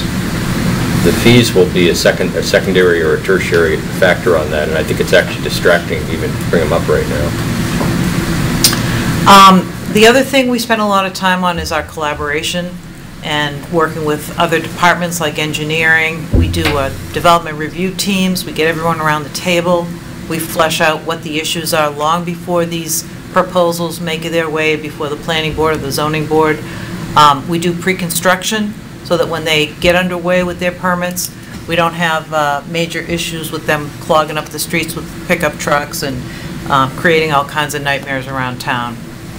Um, The community partners piece is a big piece of planning. We do a lot with our regional planning agency, the North Shore, uh, the North Suburban Planning Council. The, I talked about the regional plan, housing office that we started. Um, We get together with the economic development directors from surrounding towns, and we work a lot with our state partners, and they come in and support a lot of our initiatives. And having Jay Ash at our um, Economic Development Summit last fall was, was really great. And being plugged into that network really serves us well on our efforts with planning and economic development. Um, We do spend a lot of time doing regulatory work, zoning and violations, enforcement, we respond to complaints, get a lot of complaints. I usually try and get them, pawn them off to Matt, but he usually sends them back to me. Um, We, um, we spend a lot of time on the boards, as, as I've mentioned. Um, A key change back in 2013 was getting this new um, software program to do permitting and to do, as Bob mentioned, the review so that conservation, historic, all of the components of the review are tied together in one organized fashion as opposed to the way we used to do it. People would just run in and out of the building inspector's office and say, don't issue that permit, let me look at it first. So this is a much more civilized way of doing things, and um, with the permits coordinator, we're able to function very well. Losing that staff planner, and we even had a planning intern back in 2016, has made it enormously challenging. Um, We did add an administrative specialist position in 2017, and that has helped us with our nighttime government. Um, And then just a men- mention there about the CPDC was short a full member, but we are um, fully staffed on CPDC, so that's worked out well. These are the kinds of things we do in planning, everything from master planning, the parking study, housing production plan, bike and pedestrian plan, cultural district exploratory study, economic development action plan, hazard mitigation plan update, South Main Street roadway diet, housing production plan renewal, and wayfinding and branding. Um, The Economic Development Director, I'm just going to talk about for a minute. You know, we, we really looked, we spent a lot of time on economic development planning, but you can't always plan, even though I do love planning. you actually have to do things once in a while. And then when we had the opportunity to hire this economic development director who was so good, he actually went into the community and began to develop relationships with the community, with the business community, with the realtors, with all of the people that um, have an opinion about Reading, and, and met with them, and worked with them. How can we get economic development going? How can we make things um, positive in this area? And that was a huge benefit.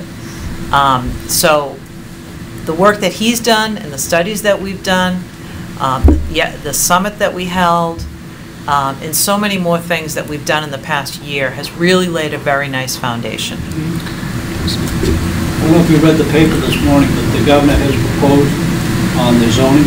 Yes. Two-thirds to fifty percent. Yep. And there's an incentive to do so financially from the state. Mm-hmm. I think that's something you might want to. Yep. Town meeting. Yep. Yep. Did Andrew give us uh, an exit summary? He did.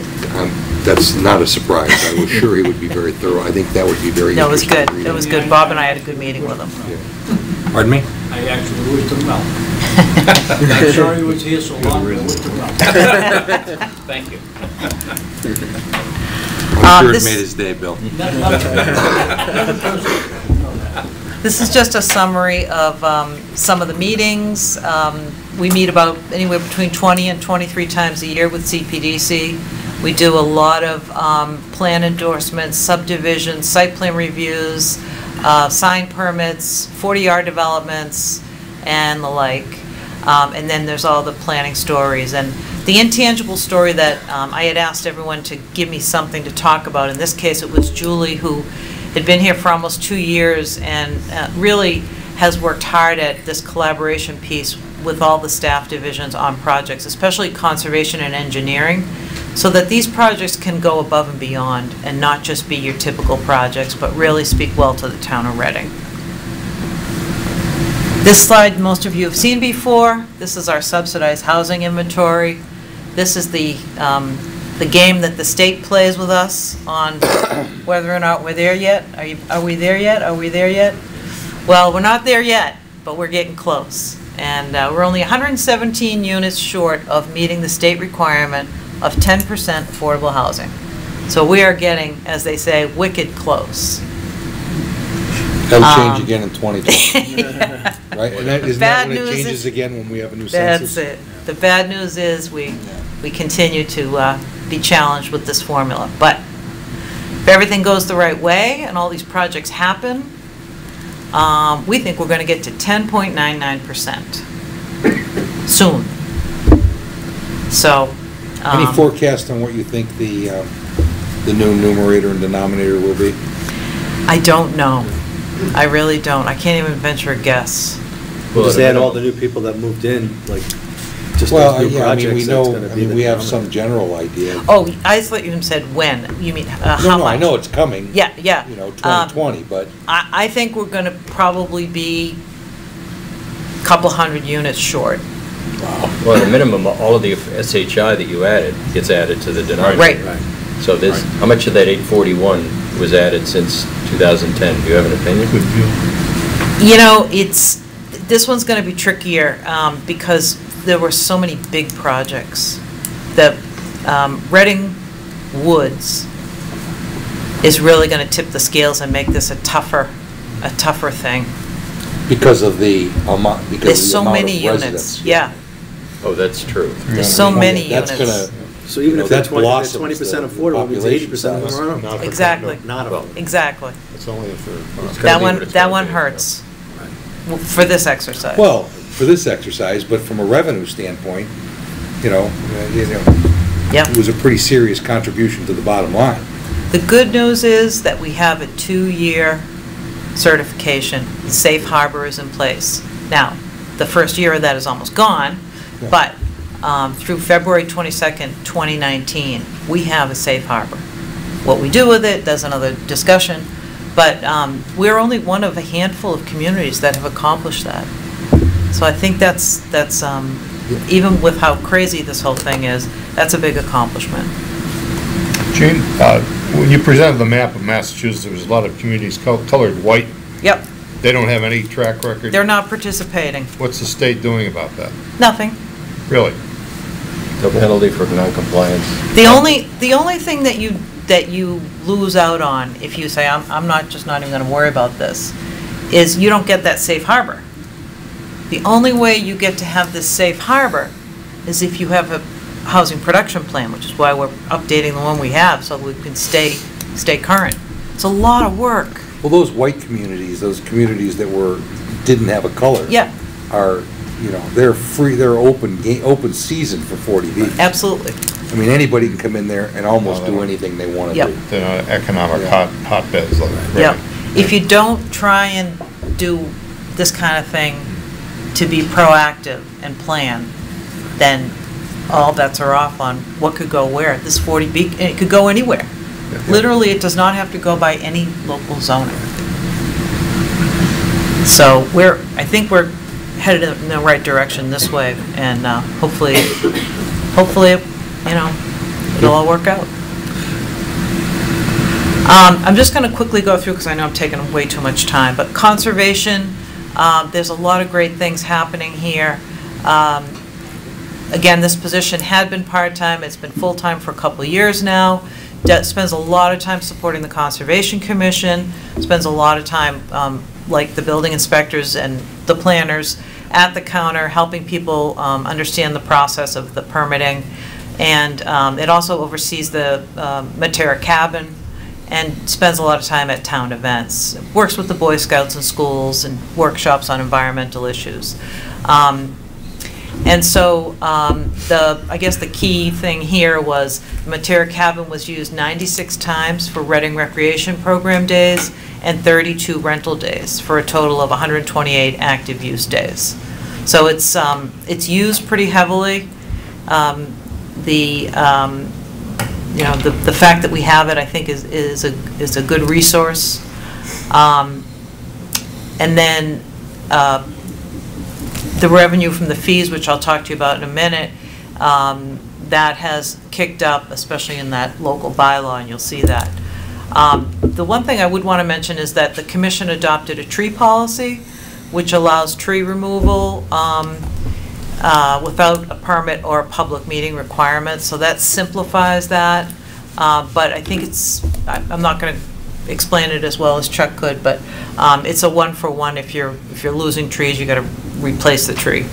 Um, And then this intangible story was about a uh, homeowner that um, had a conservation restriction, it was a legal binding document.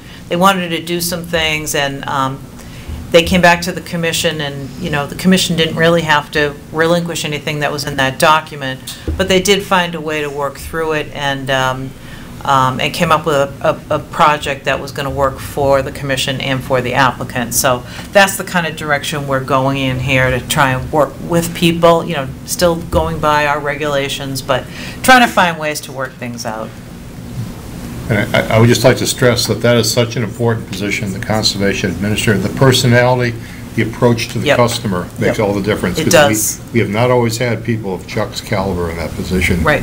And we've earned a bad reputation because of it. We, we did a survey a few years ago. In fact, I, I used that uh, for the building inspector survey. I pulled the old survey out that we did on conservation, and I, I, I guess I forgot some of the comments that we got. Yeah, we. It was we- brutal. We heard a lot of bad stuff. But we're doing better. Um, This is, again, just a, a picture, a snapshot of where we are on the permits. A little bit clearer like this, the fees, and the red is the, um, the Reading General Bylaw, the blue is the, uh, the state Wetlands Protection Act. So you can see the fees are up. Um, I won't bore you with this. Um, Moving on, historic, um, again, this is mostly volunteers. Some support from planning and admin staff, but um, I think with a staff planner, we could really do a better job of, of working with historic. Um, They do a lot of great work, and there's a lot to this. Um, And I'd love to be able to help them out and give them some staff support.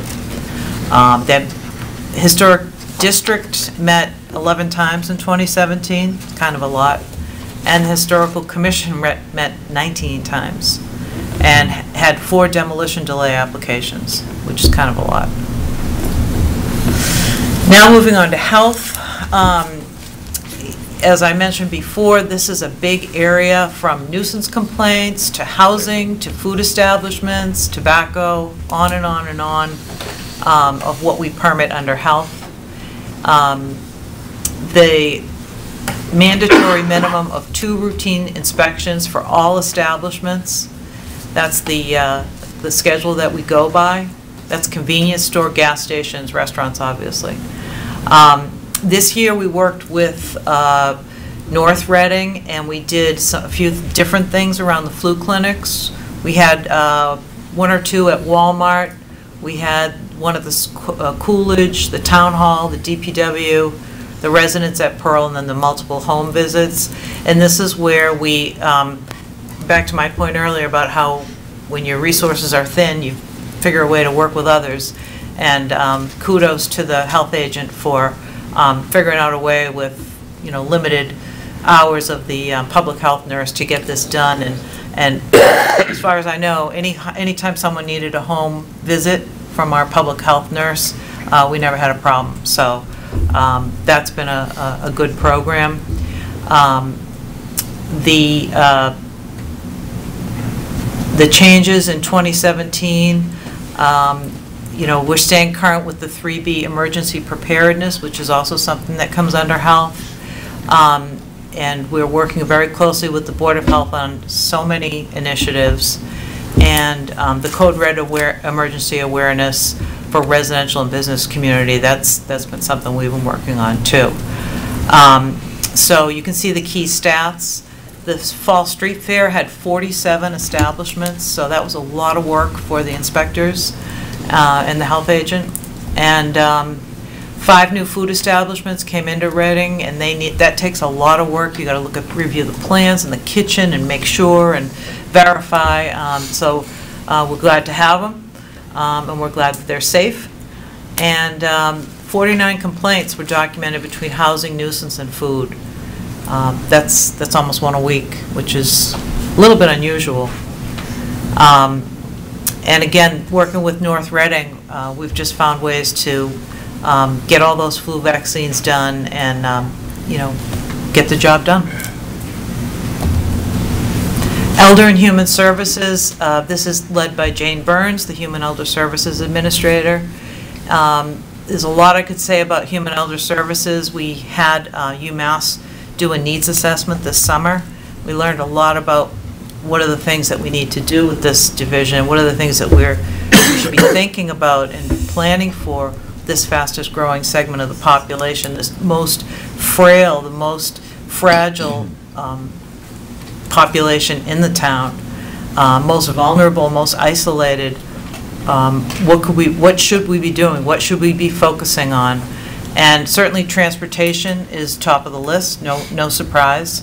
Um, But also, so many of them are uh, in need of referrals for health care, food stamps. um, uh, You'd be surprised at how many we have come for fuel assistance, and all of the things that, um, that we do every day um, to, to try and service this population. Um, So we've been lucky to get some grant funding. We've been doing this Memory Cafe, which has been fantastic. This is for, um, uh, I guess it's families that come and they're uh, dealing with memory loss. And they're very creative ways of working with little um, workshops with the caregivers, with the family members to, um, to have some activities. Um, So many other things, working with the high school boys hockey, the lacrosse team, shoveling program, and um, I guess the intangible story was the story I briefly alluded to about the Veterans Day breakfast and how popular that's gotten, but the, the crazy way that we had to pull that off by dragging everything from the senior center to the um, Masons, and... But the uh, event was The so event well was attended, great. and, It um, was great, and it was worth it, but it, it's a lot of work doing it that way. Now, So- so and- Jean- oh, The Masonic Lodge. The um, Masonic, They yeah. donated that, they didn't charge us, did they, for that? I don't think they did. I don't think they did, No, I'm no. fairly certain that that Yeah, was I a- don't think so. Again, you know, we look to these public-private partnerships, and Um, Because that's a rental hall. Yep. um, That we were able to use without, without cost, so. So, so Jean, I think you had, um, when, on your color, color color wheel chart, you had proposed, I think, a halftime, uh, another halftime coordinator. It uh, would be but- taking the, Take- um, Take the the, halftime, making it full? Is that- no? yeah, it's about a half-time that, that would go, it's, right now, we're kind of squeaking by at about 30 hours, it would go to 35. So the outcomes that you would expect from that extra staff position, would that be just more robust, you know, deeper robust of, of what you just put on the chart, or doing things that we're not doing? Um, There's a couple of things that, that, uh, that we're working on, but we could be doing more. Like, um, the administrator's done a great job bringing the dementia-friendly program to the town, and she had a program last week, it was excellent. Um, So, becoming a dementia-friendly community is really an interesting idea and something that we really should be thinking about. Um, And there's a whole lot to it, but the long and the short of it is, is just having trainings, like, for example, in the restaurants, so that when we have our seniors with memory loss, um, they can go in and have a meal and have a nice night out, and the staff is trained in a way to manage that. That's just one little example of how a dementia-friendly community could work. And, and so I think there's a huge opportunity there for the administrator to, um, to get that, she's already started. Um, But it's, it's like what I was describing before in planning. You know, we all just jump in and, and get the job done. Um, But with more hours, I think, I think it can be done in a way that, uh, that we can work a little bit smarter. Jean, do you have an opinion, and it's, it can only be an opinion, to what degree the current center itself constrains your, the- these numbers on the screen? Yeah, we, we talked a little bit about it with UMass, and we heard a little bit about it from the focus groups that they had. Um, And we know that there are some people that don't come to the senior center because when you get there, the bathroom is in the basement or up on the second floor, and they're just not comfortable having to navigate up stairs or an elevator to get to the bathroom. Do you think that's a 10% number, or do you think it's a 50%? I, I I know think... it's impossible, but Yeah. your best judgment. I don't, I don't know. I don't, that's a- an interesting question. I think that, um, you know, frail elders um, are, are are hesitant to be in an environment they don't, they don't really feel, you know, they can be okay in. You talked about the elevators and the different floors. Is the capacity itself a limiter here as well? Just- Yes. Yeah. Just the pure size of the location. Yeah, it's definitely, Because it, it, well, witness, we had to take the Veterans Day breakfast Yes. out of there. yes. Um, Yeah, there's no way you could have fit that. And I know when we have the volunteer day, I mean, the Yep. place is bursting at the seams. Hmm. It is. Thankfully, we have that many volunteers, but again, space is a problem. We're the- um, about the smallest in, among hmm. our peers. Yeah. For that As kind far of, as square footage. And I would think also the, the limitations of that kitchen are, are huge. Yeah. That would just be my guess. so the Yep. thing I'm poking at is these numbers would be measurably larger, I believe, if the facility were right-sized for the population. It's hard to know how much more, but my guess is it's more than 10%. I would say. And maybe it it doesn't end up being a senior center. The More model that we've seen yeah. is more of a community Right. center. Shouldn't the veterans? That's why it's changing there. We'll get Shouldn't the utility Veterans out of it. Well, the beauty of it be is there? that it gets used, you know. Right. More of the, all of the waking Right. hours instead of some of the waking Right. hours. But you've got to have the capacity to drive that with the space itself. Yep, And let's face it, much as that's a, it's a quaint, wonderful building, um, meeting those demands of the size of the crowds, and you can't even think about community center, because it really can't handle the needs of our, uh, of our population that's over 60 now. So- yep. Yeah, it really doesn't. I mean, quaint, it is quaint, quaint, lovely. It's a, it's a lovely building, Small- but it's small- not, it Small just- building. It doesn't get there. Um, And its facilities, I mean, um, being able to, you know, I, I know, I think Jane's in the audience, we were speaking about the fact that, that the kitchen is limited. Um, Yep. I mean, it's kind of a warm-up kitchen, really. I mean, Yeah. Um, So these are just some, some more graphs that show you kind of where we're at. Oh, sorry. Question? Yeah, question. I just, uh, George Catchin, Colburn Road. Um, When I went to the town uh, fair earlier this year, an interesting comment uh, a person made at the elders' table. When I talked about the need for an override and the schools and community need more funds, and also the elderly population, the senior center, et cetera, this person said, yes, but we'll be at the bottom of the list. And I think that's something to bear in mind, that we want to make sure that we treat the entire community, the young, the old, collaborating together. Yep. Well said, George. Yeah.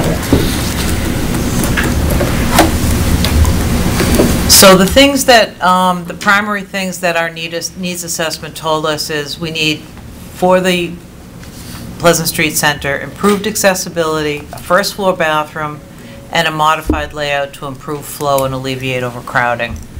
Um, We also could do a little more with deepening the knowledge of existing programs and services. So again, extra hours for that administrator, um, get, get the word out more on the, on the programming that we are doing. Um, And again, going back to the topic of partnerships and um, our community partners, um, collaborating more with them and, and doing more that way. Um, The property tax worker program, when we compare ourselves to other communities, it's um, it definitely room for expansion. And, and then just some of the logistics of the center, which I know we've talked about, you know, the, sp- the staffing level, we're uh, not only- not only among the smallest senior center, we're among the most thinly staffed of our peers. So we could ask for a lot more to right-size the staffing level. Does one follow the other, though, as you right-size the center, then you have to right-size the staff? Yes. Makes sense. Definitely. Um, Jean, has the board, and I, I I will make this brief because I know you're... No, it's okay. Um, Has, has- have have we talked, before I got on the board, has there been talk about expanding the s- size of that center in Yes. place? Or location, or both. It's come up, but it's really got to Yeah. sharp point with this gerontology study, which really sharpened it from a, kind of a survey of the beneficiaries. There have been some uh, general discussions about public-private partnerships, and, I don't know, do you want to say anything about that? Well, I think we're going to run, on- we could run off the rails here. You know, this might, aren't But, uh, gonna but be it- talking you you know, it's a good question, and it, it- in, we have talked about it, and we need to talk about it more. Um, But tonight is, I mean, this is kind of a, yeah, kind of an opener Yep. to that. We are going to be talking about new, uh, potential capital needs, projects down the road. I would assume that this project could be in the discussion. Yep. Yeah. Might not be a build by the town. Well, Yeah. There's there's various options. Okay, thanks. Um, And then just, so this is, I'll do rec and and vets, and then we'll go line by line, if that's okay. Um, Everyone knows recreation, it's uh, the Feel Good Group. They're doing all the stuff with the kids and education and um, just really making Reading shine. Um, 450 programs and classes in FY17, and they do a lot of stuff online, which is great, and people sign up online, so that's less demands of people coming in the office or calling or whatever. They really got this working beautifully. Um, They oversee the fields and the playgrounds, they do field scheduling, they do uh, playground projects, they have over 40 seasonal staff that do the programming, and then they coordinate townwide events such as Downtown Trick or Treat, Halloween Parade, Egg Hunt, Summer Concert Series, and other social engagement and community activities. Um, They sell out every year on the summer camp, all eight weeks. The Saturday night lights flag football's been a huge success, the Hunt Playground renovation, and then the resurfacing projects working with the Parks Department. You guys tell us where the kids are climbing there, that's, uh, Oh, Not in Reading. oh, okay. That was not in Reading. That was um, something that they had to go, and, and there's a little teeny tiny print, recreation now uh, plans off-site programs due to lack of facility space. Oh, yeah, I missed it. We put that in very tiny print. But those are ideas that need to be talked about, too. Yep, Uh, Because those are happening in a lot of communities. yep. Um, So you can see the red is FY17 and the blue is FY16, that, you know, everything's going strong with the programs. Uh, They're about the same, uh, a little bit higher, but um, these are tremendously popular programs that the community just loves. Um, Those are the top three, summer camp, Saturday Night Lights, and the rec in-town Sunday basketball. And we generate a lot of revenue, and this goes into a revolving fund to pay for the expenses of running these things. So the only thing you see in this budget is the cost of staff. Um, And then last but absolutely not least is the Veteran Services Division, and that's Kevin Bohmiller, our Veteran Services Officer, and Kevin uh, and Jane are in the, in the audience tonight, as is Laura, so um, thank you for coming tonight. I should have pointed that out earlier. Um, But as you know, the goal is to um, use this funding, use these um, state dollars um, wisely. Reading's share is only 25%, so that's pretty good. Um, And there's a lot of work goes into even finding the people who would be eligible for these benefits. So many people don't come forward. And uh, I know Kevin spends a lot of time, you know, in the community so that he can, he can uh, direct those resources where they're needed. Um, Word of mouth is the best, obviously, Um, and the aid that they provide can actually go for um, assisted living or nursing home expenses, and many Reading families qualify for that type of aid, so that's a big help. Um, The, Kevin's out in the community, which is great. He does the Scuttlebutt at Pleasant Street Center, which is always very, very popular. I think um, uh, that's, that's just been a a win-win for everybody. And um, the VetraSpec paperless VA claims processing program was implemented in 2017, so that even makes it more efficient to do everything electronically and um, uh, really is a, is a much, much better, like our permit system, better way of running things. And you see the stats there for who's collecting these um, benefits. And this, of course, is the best. It's the pictures of who we, who we help with these programs. And um, uh, the guy on the, on the left-hand side, I was able to be there for that, which was a fantastic day. Um, And seeing him get his uh, sergeant stripes uh, after, I don't know how many years it's been. Um, He was a uh, uh, guy that did the Battle of Bataan. Um, And And the Death March. yeah. the Prisoner the war. Bataan Death March was int- intense, and he couldn't have been happier that day to get his, uh, his sergeant status. So I think that is pretty much my presentation. I'll run through quickly my notes on um, where we're at with the actual budget. I think I've covered broadly where we're going, but just to go back to the detail on the actual budget. So the first thing um, is um, under Public Services Administration, um, where it says the office manager. That is a position that um, is now part-time. That was always a full-time position, so that's been a reduction. Um, The administrative specialist is the second thing I wanted to highlight. That's in that same grouping under Public Services Administration. Um, Is And that, is that, that the, that's the that's proposed new? the zoning board. Um, No, no. No, that was, both of these were, uh, uh, the office manager retired just this summer, and came back part-time, so that position went, in this budget, new to half-time. So Um, that's, that's a half. That's a half, Okay. yeah.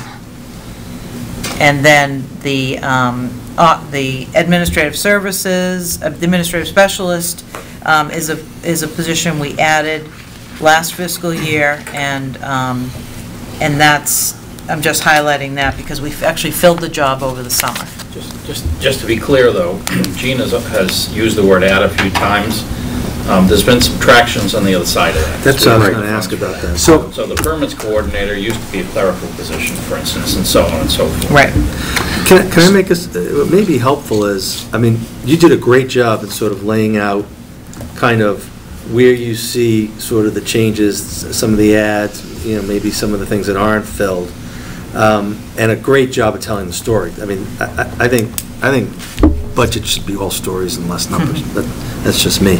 But what would be helpful is to kind of just maybe take those changes and put them on a one-pager, saying, this is kind of what we like to see, the cost, this is what we didn't add in, this is the the expenses, rather than try to go through and find each one of those different colored things on this, I- I'm not going to be able to do it. Mm-hmm. So, Okay. I don't know, obviously not Yeah. now, but But rather to than that do point, that. Jean, I think that, you know, you had three, pos- three positions, and you had one expanded hours. Right. So if what we could do is that represents some amount of the sixteen percent increase that your department's looking for. So if your department's looking for sixteen percent increase and those three-plus positions account for, you know, eighty percent of that, I mean, I don't know. I mean, I think that's gonna be the easier way for us to, you know, either take it into battle or, you know, or not. And- Yeah. And may- and maybe as a message to the other folks who aren't up yet, or the ones who are going tomorrow, you know, maybe just to do that, because this way we can just look at it and Just say. see a snapshot. This, w- w- we know the story of what we're going to get if we add this, now it's just a question of, what do we think's important? Yep. And what does it really cost? So, Right. you know, so in the big picture of things, you have a sixteen percent increase, okay? Right. We fundamentally know that theoretically, we've got a two and a half percent revenue increase. So, you know, you've got a delta. Yep. Um, and that delta, you know, is somewhere around fourteen percent. And, you know, in trying to give advice, which is really all we can do, or to carry the message out to the public, Yep. what we need to be able to do is quantify that. So, you know, so essentially you've got a fourteen percent delta between what we've got. You know, when it all Yep. gets down to it, this is just arithmetic. I mean, you know, it's a piece of paper and a pencil, and it says, this is how much you got, this is how much you can spend. And so, then it becomes a quantifiable issue. These positions that you've talked about, um, adding, three plus, you know, three plus some hours, I mean, you make a very strong case in every one of these. And so for us to be able to carry that message out to the, to the voters who ultimately have to make that decision, we, I think it'd really be valuable if we could kind of boil that down to something simple um, of what that really means in money, Okay. So. I- Doug, I- one request on that also, could you also do it in head count? I know we've talked about this in the past, but just specifically, so it's a change of 2.25 people. Well, it's three people plus an increase in one. Right, right, but what I'm asking for is, what's the head count now? What's the head count that's being requested? Well, the head count may not change, it may be hours, but no more heads. Yeah. But FTE then? Yeah, So that we know specifically what we're, what we're looking at. And that's, that's the, you know, we- it's a comparison in dollars, it's a comparison Yeah. in people, it's a comparison in how the people are, are comprised. And also, some of the stuff's reallocated. That's, you know, that's valuable, Mark, but I think when, you know, if we're gonna be talking to voters, and we say, hey, your taxes are gonna go up by twelve dollars if we get a recreation director. Uh, You, you know, I mean, you gotta be able to, I mean, there are FTEs and there are percentages, but to Barry's point, the story is what's important. Um, I mean, you know, for Jane to be able to expand her opportunity to give more services, that's, that's an important story, I think. Completely agree. I just think that it's also a fair way to, to have a comparison. We- We started at the beginning of the meeting with a discussion of FTEs and- and how we're looking at them. Let's just look at them. Yeah, I I mean, to, to, to Mark's point, I think it- it'd be much easier for me and, and, and uh, people in town to look at our sal- salary schedule and understand it in terms of FTEs, because right now, we don't know uh, whether that's one and a half people, two and a half people, um, and in some cases, if it's an individual getting a 3% raise, or is it an individual going from 25 to, I don't know the exact math, but 27 and a half hours?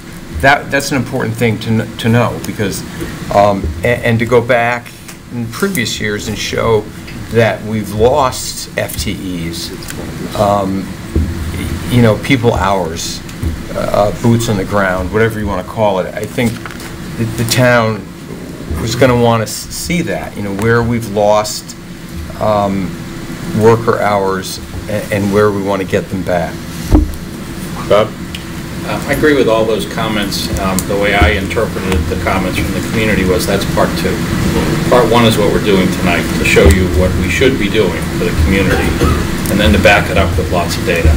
And uh, painful as it may be, um, you will see the town manager wield his axe and list every single thing that is not funded that is listed here.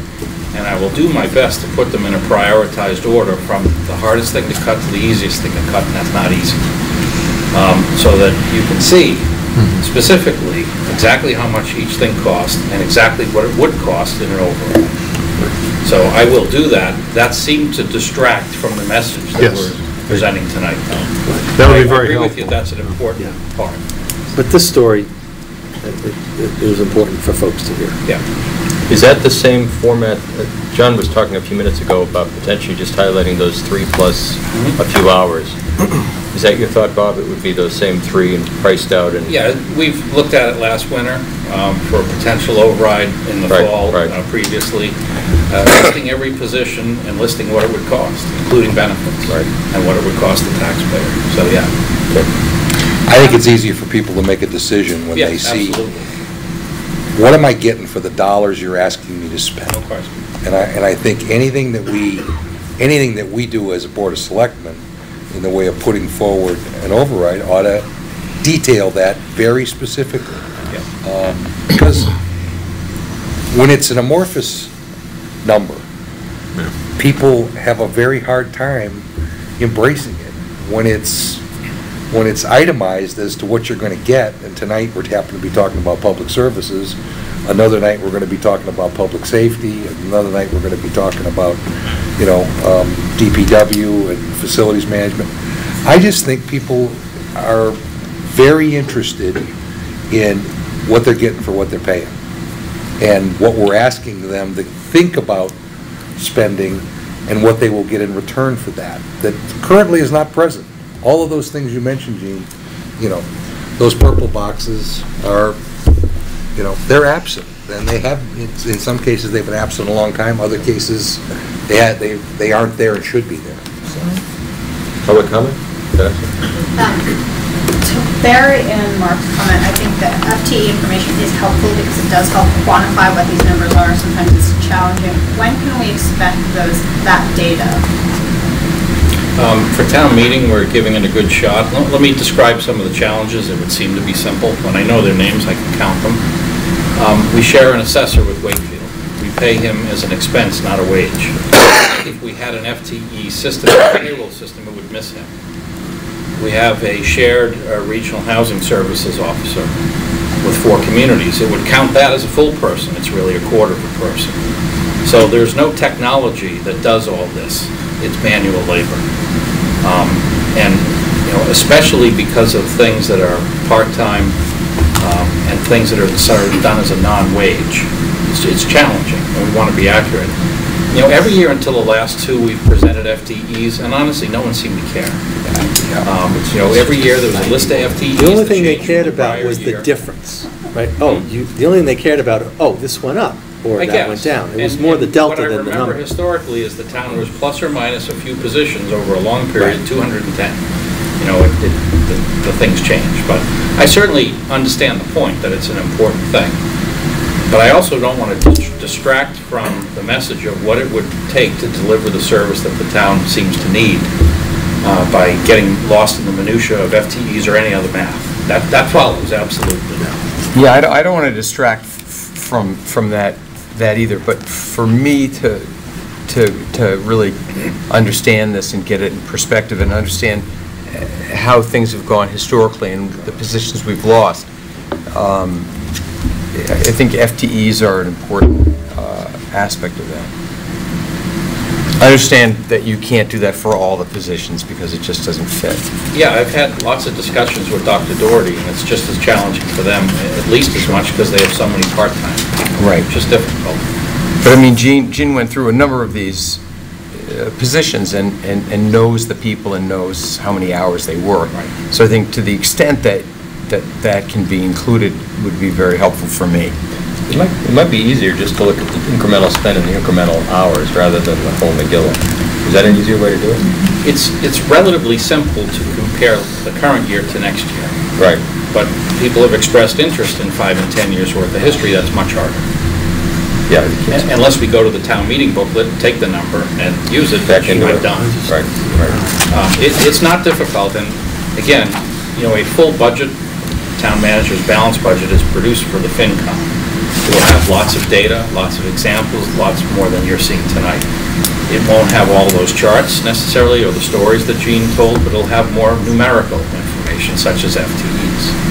Um, You know, FTE should be able to be put into the FinCom budget, certainly if not, then the town meeting budget. But I, I understand the the helpfulness that that number pre- presents, and others. Jean, do you have an electronic version of, of of your presentation that you can send out to us? That'd be Sure. great. Yeah. Yeah, we can put all this up on the website afterwards, or anytime. Yeah. That's helpful. But that's it. Um, Regarding Barry's comment as far as telling the story, I think one of the things that would be helpful, and I think we've talked about, is having a high-level overview of a handful of bullets describes Jean's more detailed presentation. So that, for example, the building inspector is a really nice one, where we can say, by adding this position, this is how it benefits residents, and therefore it's justifying the expense. And that, I think, that's where the FTEs can be combined with this story concept, um, and it lets people know what they're getting for ads.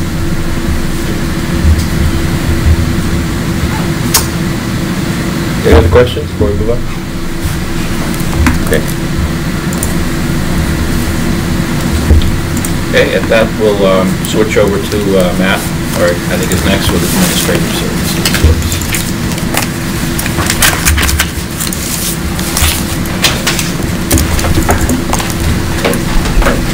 You Want the uh, org chart? Yeah,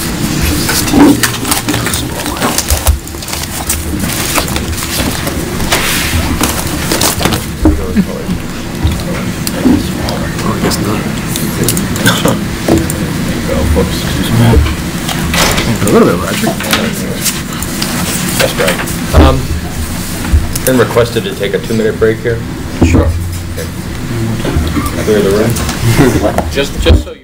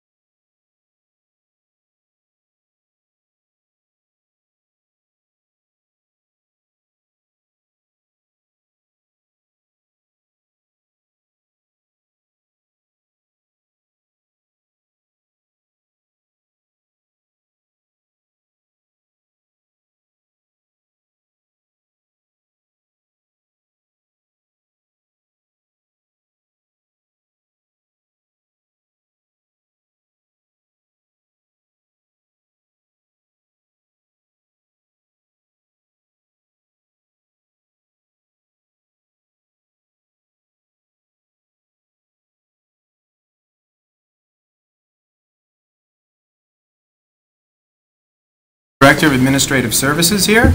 And before you tonight is the budget for Administrative Services.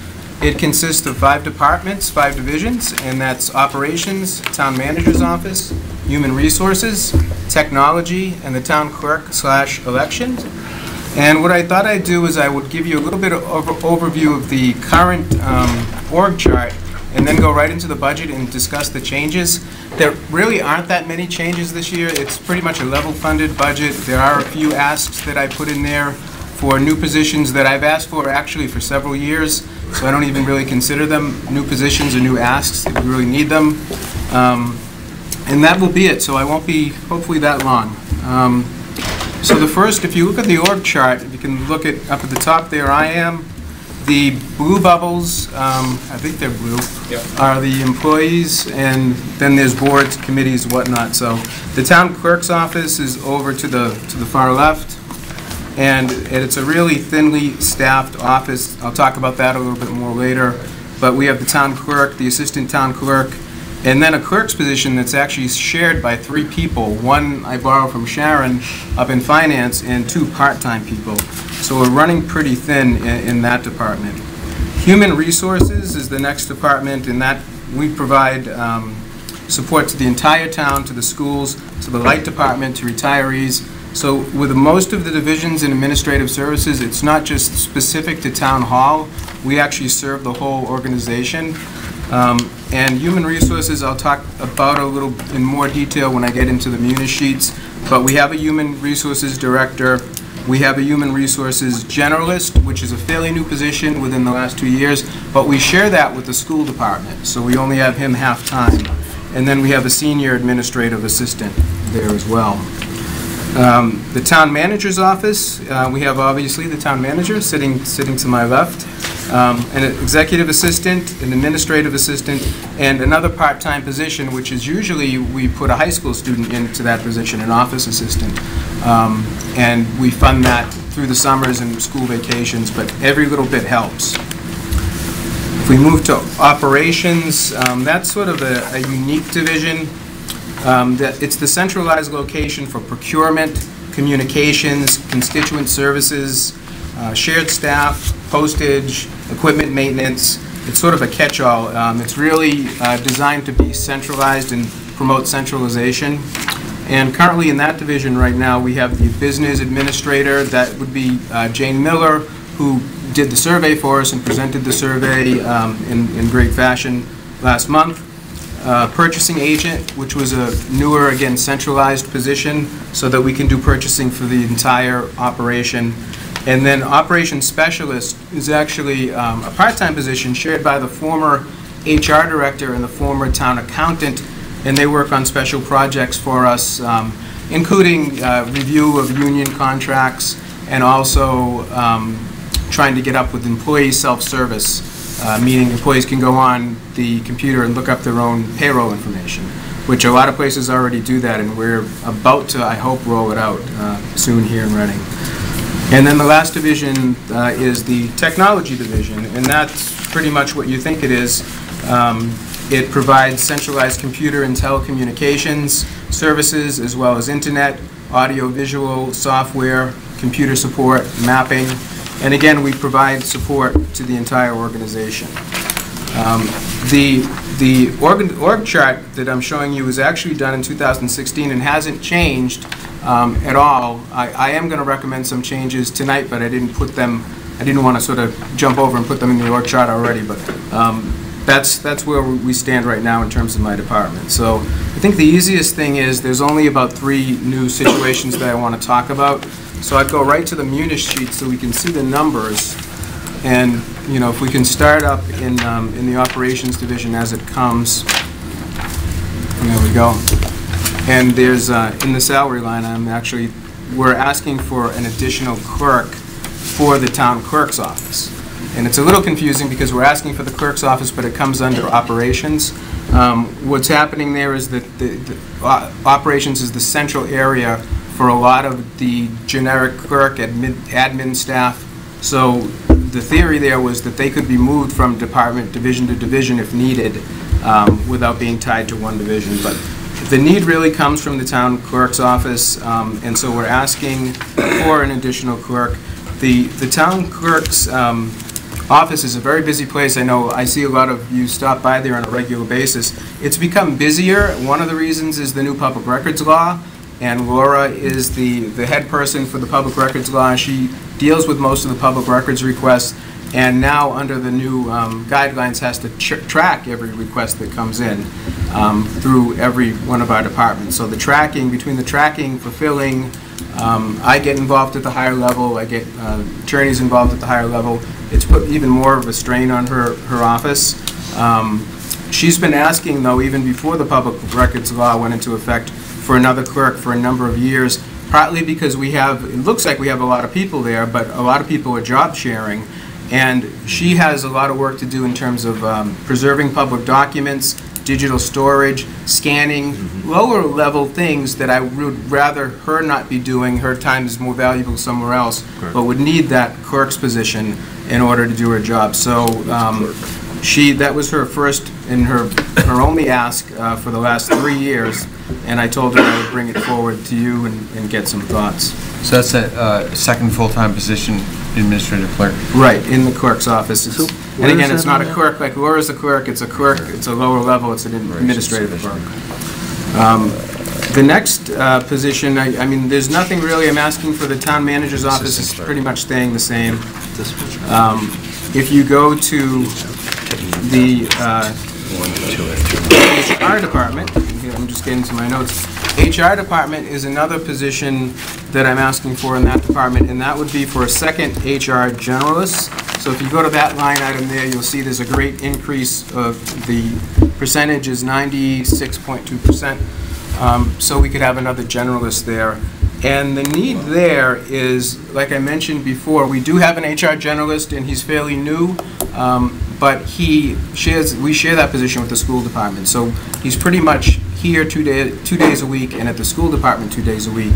And we have a good working relationship with the school department. If we need him on a special project, we can have him for a few more hours, vice versa. Uh, At the beginning of the school year, signing teachers up for different things, you know, he's over there a little bit more. Mass, how, how is that allocated? Well- Is it allocated between the two budgets, or is it in the No, no, we pay for the whole amount. Okay, Um, so, Yep, we pay for the whole amount, and we share it with the schools, so. Uh, But just to be fair, it was put in, if you will, as an accommodated cost, so that we s- prorated it. so it really doesn't appear in this budget, it It appears... appears in this budget, but it was funded, if you will, first, one year, when we both agreed. I think we added it during maybe a November town meeting, so it was added, if you will, from the general fund, So- not from the existing. So is that person, the one you have listed here is a generalist at a salary level? That's a new, that's a new ad?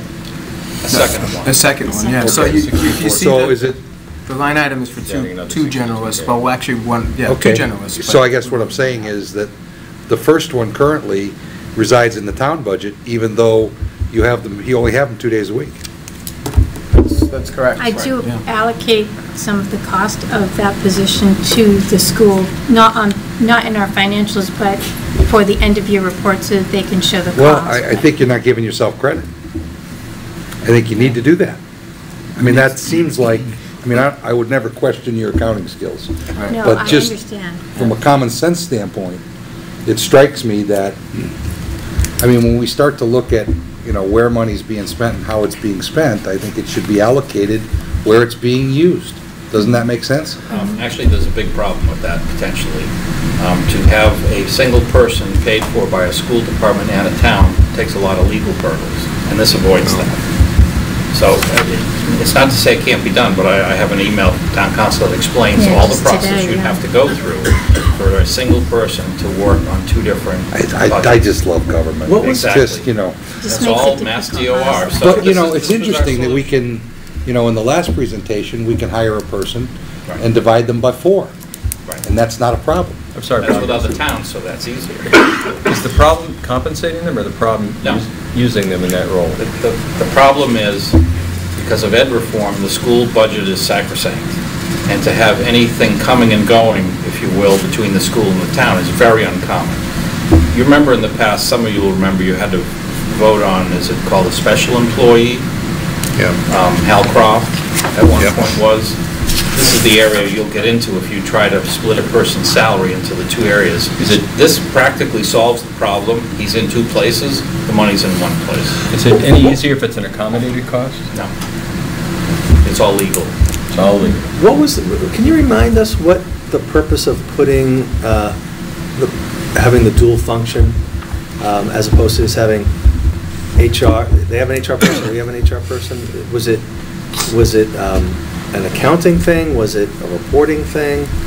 Why why did we, I think we why did both- we do it that way? We both, well, we both had a need, um, and so, you know, I think that, and, and we always want to try to do synergies with, with the school department if we could, so we decided to have one position, that position would be shared, and it was budgeted at the time under the town budget. Um, It could have been very easily budgeted under the school budget, I guess, um, but they decided to put it under the town budget, and that's where it stands. Is there any way to allocate some of the expense back into the- any other part of the budget? I don't think it matters. I, I think it's sort of, sort of the one Reading thing. You know, if we had to pay for it as a town only and find the resources to do that, it would have been difficult. It came in off, you know, off the top, off the revenues. But it's no longer paid that way. No, it is. Well, that's how it got in there, that's all that matters. So it became a baseline number for the town to then use in the future. So would this second position be also shared, or would this be Don't know. just for us? I- They, I know that the the HR director would like it just for us. Um, be- be- And what I was going to say, too, about the need for that position is that um, that department, that division has been really swamped these days as well. Increased hiring, um, more paperwork, more state and federal compliance work, um, more training requirements, more training in general. And we're finding, too, that it's getting harder and harder to hire people. Sometimes we have to go through the hiring process two or three times for the same job, because we've had people go through the process and in the end say, hey, I, I want more money, or I want something different. And we, we can't be very flexible when it comes to that, so they may pull out, and we have to start the process over again. Yep. Um, And with everything, you know, in terms of training is, is a big, big part of what we need to do there as well. With everything going on nationally, we need more training. Um, So that's something that, um, that she's asked for, that I agree that we should have. Um, And again, we serve the entire operation under this division, so um, retirees, light department, you know, we all, pieces of it go everywhere. Um, So that would. one- So Matt, and, and I'm sure you and Judy have talked about this at length. Right. Um, Do we need, so let's jump for a second and say we need another person. Do we really need a person and a half? Could we release a person to the school department and add a person, or keep a person and suggest that they make a hire? Well, we could, I I mean... Or is, or is it that we need one and a half? If we need one and a half, I- that's a different story. I think she'll say that we need one and a half. Okay. Um, You know, we, uh, obviously, we, she'll take what we can get, but I think she really feels that we need that, you know, one person we can share with the school department, and one person just to help us out on a daily basis up there in HR. Because that's what, And and I know from speaking to the superintendent, you know, he would also love Sean full-time. We would love Sean full-time. he's a so we great employee. him. Right, we do. So ideally, we'd each have one, I guess, and and maybe more. As- As Matt said, um, HR is becoming incredibly complex. And just to reemphasize that point, and I'm not sure if this was Barry's intended question, the light department and the schools each have their own HR director that do only school and light department things. Town HR director does town plus other things for all employees of the schools and the light department, so it's a little different. I got it. What else do you have, Matt? Um, So moving on from HR, I can move down to technology, the other, the other big change in the budget. Um, And if we go to the technology budget, you'll see that there's a new position added called Software Training Coordinator. And again, we, I say it's a new position, but it's something I've asked for every year since I've been here, and it's been in Bob's look-aheads for a long time. And that's to have somebody that's centralized and that could actually train people and handle software issues. Um, Currently, we divide those responsibilities up among not only technology staff, but administrative staff, administrative assistants. Um, And it, a lot of people aren't that specialized in software issues. There's a lot of redundancy. I find that some people in one department are working on the same issue as somebody in another department. Um, Surveys, like, you know, we, we have I found out we had several Survey Monkey accounts for the town, we really only needed one. Um, So, you know, things like that. Um, If we had that, we don't have that position, and that sort of hindered our ability to launch um, and support a better web presence, um, to do things like online building permits. We talked about even having online parking stickers for the, for the depot, dog licenses, you know, we could do a lot with that sort of software. Plus, we have a lot of software. I think you heard that in Jean's presentation as well, when we have the Munis software, ViewPermit. Um, So having that one centralized software coordinator would really, I think, pay dividends to the town and would help out not only the technology department, but take a burden off some of the other administrative staff in other departments that currently deal with it. Um, And like I said, we, it's something I've been asking for for a few years, um, has not been funded, and at the advice of the technology director, I'm I'm asking for it again. So is that, um, do- does the school department have such a person, or are we, are we again sharing? Well, I don't think there's any, there would be any plans to share this. I'm not sure what the school department has for that type of... Probably different software, it's more educational stuff. Right, they may have more educational. I think, um, Matt, this is a small point, but over on the perc- percent change column, this happened a couple times, it says a zero percent change. Um, we- Can't be we should- computed. We should probably have something like NA, or, because I, you know, I can just see someone from the town looking at that and saying, Yeah. that's not a zero percent change. We can't override the accounting system, though. That's an accounting, that's No, this isn't something we do, this is something software. Oh, Plus yeah, mathematically, mine can't didn't like I've always- No, no, I get that. It should say I- I get, I 100%. I understand that. Yeah. Well, we can, we can clear that up uh, when we do the, when we do the actual budget, we put it in a different form. We put it into La- Excel. That's what FinCom will see, and we could Okay. do that then. But in terms of the accounting software, which is Munis, Yeah. this is the way it comes out. Okay. What else do you have, Matt? Um, You know, there's other, there's a few other things in technology, uh, costs and expenses that have gone up and down. It pretty much nets, nets out, so I didn't really want to spend too much time there. And I just wanted to go back to the town clerk's um, budget, and I already talked about a- an extra clerk for her.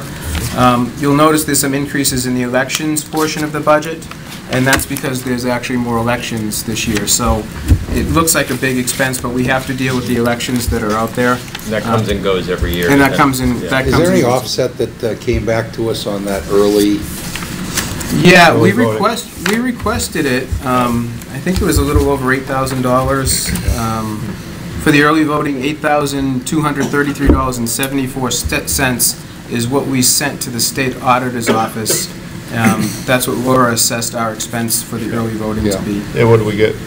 Um, Well, that was only sent uh, at the end of November, so okay. I don't think we've gotten it back. So does that reflect early voting in our expenses, because there's going to be more voting going on? Yeah, well, there will be early voting in the... um, November? November election, yeah. Not in town elections. That that No, doesn't apply. No, no, and, it- and I think it's just, it's not the state primary either, I think it's just the state you're right, general yeah. election. Um, So that, that'll happen in November. Um, So that's really, you know, just a really high overview of what's changing in the budget. I didn't want to spend too long on the minutia, but if you do have any other questions on any certain line items, I'm happy to answer the questions. If you think of something later, please give me a call or send me an email. I'm happy to discuss it. Thanks, Matt, Thanks, that's really Matt. Thanks, tight. Matt. Good Thanks. story. Very Okay, good. thank you.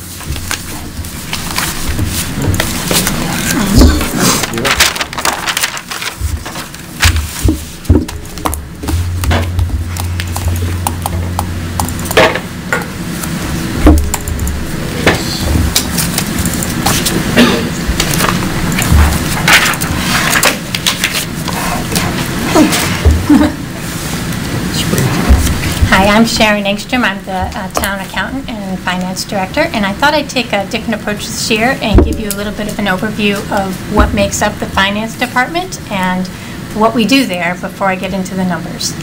Um, This is a um, visual that shows you all the pieces that make up um, the finance department. We have general finance, which is um, collector's office and the treasury function.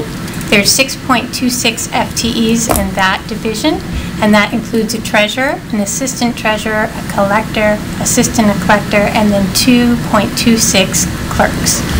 Um, And the 2.26 sounds like a weird number, but we do have um, as Matt had mentioned, um, a shared employee that works in the collector's office and does one day for the town clerk's office, so she's .74, or .76. The assessing, off- and we also have um, one person that works in the collector's office who shares time into the assessing office, so 50% in each office to, to, to help out both offices. The assessing office um, does not include our, sha- our shared um, regional assessor. He's a Wakefield employee. I only included our actual um, paid employees on our payroll, um, but he is part of our team. It probably should be included, but um, the assessing is made up of, it's 2.5 FTEs. It's made up of an assistant assessor, one administrative assistant, and a half-time clerk. And in accounting, we have me, um, a .6 um, senior administrative assistant. She works 22 and a half hours, and one administrative assistant that works full-time. I should mention that general finance and accounting are shared services. I mean, we are really doing work for all of the organization. We're doing for RMLD, we're doing for all the enterprise funds. We are processing their payroll, we are processing their cash receipts, we are wiring their money, we're doing the cash reconciliation, we're doing all of it. So in total, we have 11.36 FTEs, and I just want to get into kind of the volume that we see in this department because it is quite, quite large. So this is general finance, and this is just in no way a- an all-inclusive list, but some of the key things that we do in general finance. We do payroll biweekly, um, and we pay about 13, 12 to 1,300 people um, biweekly. So That that includes the schools? Mhm. And RMLD. And actually, even the retirement board um, employees are paid through our payroll, and they reimburse. We do cash management and reconciliation for all of those organizations as well. Um, So that would mean wiring money, it would be all the reconciliation of all the cash. Um, So that's no small task, I can assure you of that, because since we lost our treasurer, I've been heavily involved, and it is, it's a monster. How many wires do you send out a week? Well, it depends on the um, RMLD volume, because we do process our wires too, so it fluctuates a lot. But I would say, um, I would say on a daily basis, we would process around 12, 13 wires. And there is weeks, depending on the IML, uh, RMLD volume, that will go to like 40, 50 wires a week. It all depends on the volume that they have. And there's also a very small turnaround. With one of their um, vendors that they purchase power, we have to pay within two days of receiving the invoice, or they start charging us huge fees. So it's a pretty important function as well. We have to be on it. Um, State and federal reporting, all the quarterly 941s, but as well as the um, the year-end reporting of the W-2s, the 1099s, the 1099Rs, and the 1095Cs, all being done out of this department. Debt issuance, doesn't happen as often, but it's quite an endeavor to get debt issued, and you will be seeing something later um, that you'll need to be signing off on. Um, Quarterly property tax billing. We have over 9,000 properties, and we are billing every quarter for those properties. Um, We have utility billing for those properties, and we are billing every quarter. Um, And then we manage tax title accounts. When people fall in arrears, we work payment plans out to try to avoid a foreclosure situation. And then we process all the payments. And it's, last year, there was 125,000 payments processed through the collector's office. So when you look at the numbers, you start to say, wow, that's not a big staff for what we actually have to do, and that isn't everything, that's just kind of the bigger things. For assessing, there's the valuation of all the property. They do field review where they go out to the properties and get updated information, data collection, and then they enter all that into their property um, database. They administer all the statutory and local exemptions. They bill all the motor vehicle. Currently, we have about 25,000 motor vehicle excise tax bills that go out. Um, And then they also do all the abatements for motor vehicle and property tax. They maintain all of our property records, and they, they do the classification, the tax classification presentation to, to you every year and for the general public. And this past year, we adopted the new senior tax relief program, which was advertised through the assessing department and administered from the assessing department, and no staff was added to do it. So that was great. In accounting, we process all the invoices and send out all the payments. And Um, Last year, there was 34,000 payments, and as I mentioned, I had 1.6 FTEs to do that. Incidentally, Bob and I get the pleasure of reviewing those 34,000 bills as well, um, and signing off on the warrants. Um, And also, too, the 125,000 cash receipts, I get to review all those, too, for extra fun. Um, So the monthly budget reporting to the department heads, um, the uh, senior administrative assistant on a monthly basis will send out um, a year-to-date budget report, which shows them the year-to-date budget to actuals, so they can get a a feel for where they stand, and I also review those to see if there's any cause for concern, just high level. I'd wish to dig deeper, but we're kind of lean, and it's hard, um, because there's a lot going on all the time. Budget oversight and support, so that's what I would be doing when I'm reviewing all those budget reports, or even just generally spot checking some things that look strange to me.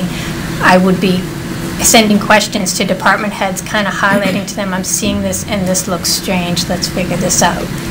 And I also provide support as much as I can um, in building their budgets, um, because, you know, police and fire and all them, they- they- you know, fire has never asked me, but police, when, when we changed the department um, head, um, the spreadsheet that was in existence had a lot of pretty high-level Excel um, formulas, and assistance was needed to kind of bring that spreadsheet forward and understand all that was going on there. I also provide support in terms of grants, managing grants. A lot of times, a police officer is assigned a grant that they have to manage that's public safety related, so they have to do it. But they don't know a lot about Munis, and they don't know how, what they should be looking at, so I, I provide that support. And, and thankfully, we have Andrew, um, who's two over from me on my right. Um, He was just hired in July. He's my assistant finance director. He's also the treasurer. When we hired him, um, we took the collector piece away, which frees up a little bit more time for him to help more with that budget piece, because I feel like I'm very, I'm spread very thin. The other things that we're doing is Munis support, because our, um, our group has a lot of Munis experience, we tend to be the go-to place for questions. When things are going wrong, people call my group first, and usually they get their answers or help from the admins working in the office. But if they, if that can't solve the problem, sometimes it's a security setting issue. I set all the security of what anybody can see in Munis, and so sometimes I do have to get involved. Sometimes I'm making calls to Munis and I'm playing phone tag with them for days to fix issues, but that's going on in, in my department. The tax recap is done by me, and it's done to set the tax rate so that we can send um, the, the tax bills. So it's not completely by me, I do the financial end, and the assessor does the assessing piece, and the two pieces together um, come out to be our tax rate. We are certified currently for the current year, and we are working hard to get those bills out. Free cash calculation, um, we have to do this every year, um, and we usually use free cash at our November town meeting. We cannot use free cash until it is certified, and we can't calculate it until we've closed our year, and so it's, it's always a race to get this done. This year, we didn't need it for town meeting, but usually we do. Um, But it is one of those, like, the first step after getting closed is this free cash calculation, because we don't know what, what we're gonna need. Schedule A reporting is a report to the DOR that is required of us, and if I don't get it in in time, they can stop our state aid, so it's pretty important. Financial analysis and reporting largely done by me, um, and it, it- it's, should be more in-depth than what I'm feeling like I'm getting done lately, but it, it's definitely high level, and, um, and then when I have more time, I dig. So that's being done only by me, really. And then compile audit requests. Um, My accounting department pretty much does the majority of what's requested from the auditors. So I figured I would just give you a high-level um, shot of what our budget looks like um, by division, accounting, assessing, and general finance. And quickly, you're going to, and it's just compared to our revised budget for fiscal 18, and it's just the proposed budget that you see here tonight. And you can clearly see that the, the change that's happening is in the accounting department. I'll get to that on the next slide, because it's clearly a much larger um, percentage than what you're used to seeing. This is just the salary piece of our budget, broken down by division. And the reason that that um, accounting piece is so high is that I've requested um, an assistant town accountant. Um, Back when I started, I was just the town accountant, and I was in charge of three people. And so I was able to do everything I needed to do to the fullest extent without any issue. Um, And then when we had the reorganization and the whole finance department minus some pieces that got moved to administrative services became mine, I noticed that there was definitely some strain because managing all those people comes with a lot of time. You know, when things come up, they're coming to the person, and it used to be Bob, and now it's me. And so, um, that, there's a lot of time being spent managing that staff, guiding that staff. And then also the budget piece seemed to emerge when I became finance director. It's, it seems of a logical nature, if you need help with your budget, to ask the finance director for that assistance. So I started to do more um, one-on-one time with the department heads, helping them with budgets. And so I spread myself pretty thin, and I spent a lot of time at the office. um, And it- it's very difficult to find the work-life balance. Um, But I want to be able to do everything to the best of my ability, and I feel like the assistance would be greatly appreciated. I am not under the illusion that I will get it, but I ask just to put it out there as a, as a something that would be helpful to make things better, because the financial analysis that we could do if we had another person would be great. We're just so lean. The other thing that concerns me is those financial reporting things that I mentioned, free cash, tax rate setting, and Schedule A, I'm the only one who knows how to do them in my department. We are too lean for me to pull somebody for several days and show them beginning to end how to do those processes. They're not difficult, but they're time-consuming, and I can't carve out enough time to give somebody that whole exposure that they would need. Um, And so that's a vulnerability that I feel if I'm, if something were to happen to me during that crucial time, that would be a, a bad thing to have happen. The one thing that we do have working in our favor is that the former town accountant is still on our payroll, working part-time as that operations specialist. And I would hope that if something awful were to happen to me and, she- and we needed that done, that she would help us. But that's part of the reason I ask. I feel like that's a vulnerability that shouldn't be there. Um, I should be able to have a backup. I do feel that most communities, most of our peer communities, do have an assistant town accountant, and many of them don't hold the finance director role. Yes. How many things other like that, Sharon, are there, are there other vulnerabilities in here like that I feel like a lot of the other things are cross-trained, so. already? Yeah. Okay, Um, good. But what I do find is that because we're so lean and there are busy times for each, like the collector's office is, at- is busy at certain times, if I have somebody on a vacation, what we do has to be done every week. So I find myself processing invoices, do you know, doing that piece, because they're detail checking all of those invoice batches, and they're cutting all those checks, and they're making sure that everything is correct, that there is no tax added to the bill because we're tax exempt, that they've used the correct address, that it's the right vendor, all that to avoid us paying the wrong party. There's a lot of volume going on, and it, it's done every week, and it can't wait.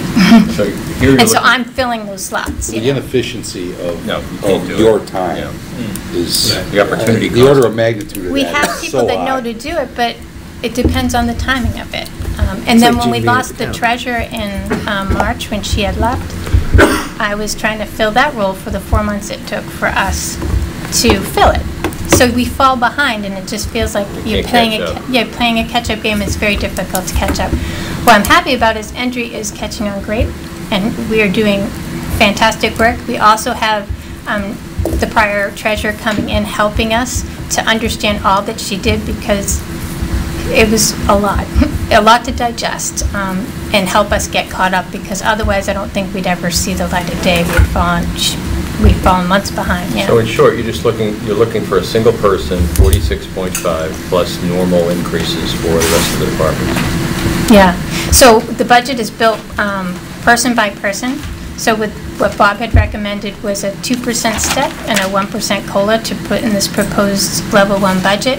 If somebody's at top step and they're not getting a step, we, we just budget the COLA. So we don't just automatically assume, oh, we'll take this line and increase it Right, 3%. okay. We build it bottom up. And so that is an actual Right. figure. I guessed on what I might have to pay to get another body in, knowing full well I probably won't get it. Um, But we have a Plan B, because I feel like the change that we made in making the um, assistant finance director, a treasurer assistant finance director, as opposed to a treasurer collector assistant finance director, is I think that maybe there might be enough free time for me to cross-train Andrew to do some of that reporting. So we'll see what the year brings. I'm not under the illusion that getting public safety, you know, is, you know, I think public safety is more important than adding this position. I'm not in the illusion, but I want to highlight to you that it would be helpful, this department, to function better. So that's the only reason I ask. That's exactly why we're here today. Thank you very much for doing that. Thanks. And then under the expenses, there's very little to tell. The 3.4% that you see there is our regional assessor. We have to allot for increases year over year. We don't know exactly what that contract's going to look like. Yeah. And so we're being a little conservative there. But As- he's an expense, not a, He's an expense, which is why Which he is shows up here, because he's their employee, not ours. the ex- having him an expense is much less expensive. Oh, than yeah, having it- there's definitely cost savings that's there, sure. yeah. Um, so, but I had to show some level of increase, not knowing what his pay increase is gonna look like for next year. We haven't negotiated that yet. And then the only little thing that's up in general finance, everything else was flat, we didn't increase anything else. We increased general finance by five hundred dollars for printing forms. That's the line item we use to print the tax bills. And every year, we're just two hundred dollars under actual. So, um, increasing it seemed prudent since we were coming in so close to budget. So, um, so that's the only other thing that's increased. This is just summarized, but when you look in your packet, you can see the line by line. If you have questions, I certainly am happy to answer them, but I highlighted what I thought you'd want to know. Do you have any questions for me? Very well done. Great, great job, Thank you, thank you. Nice and crisp.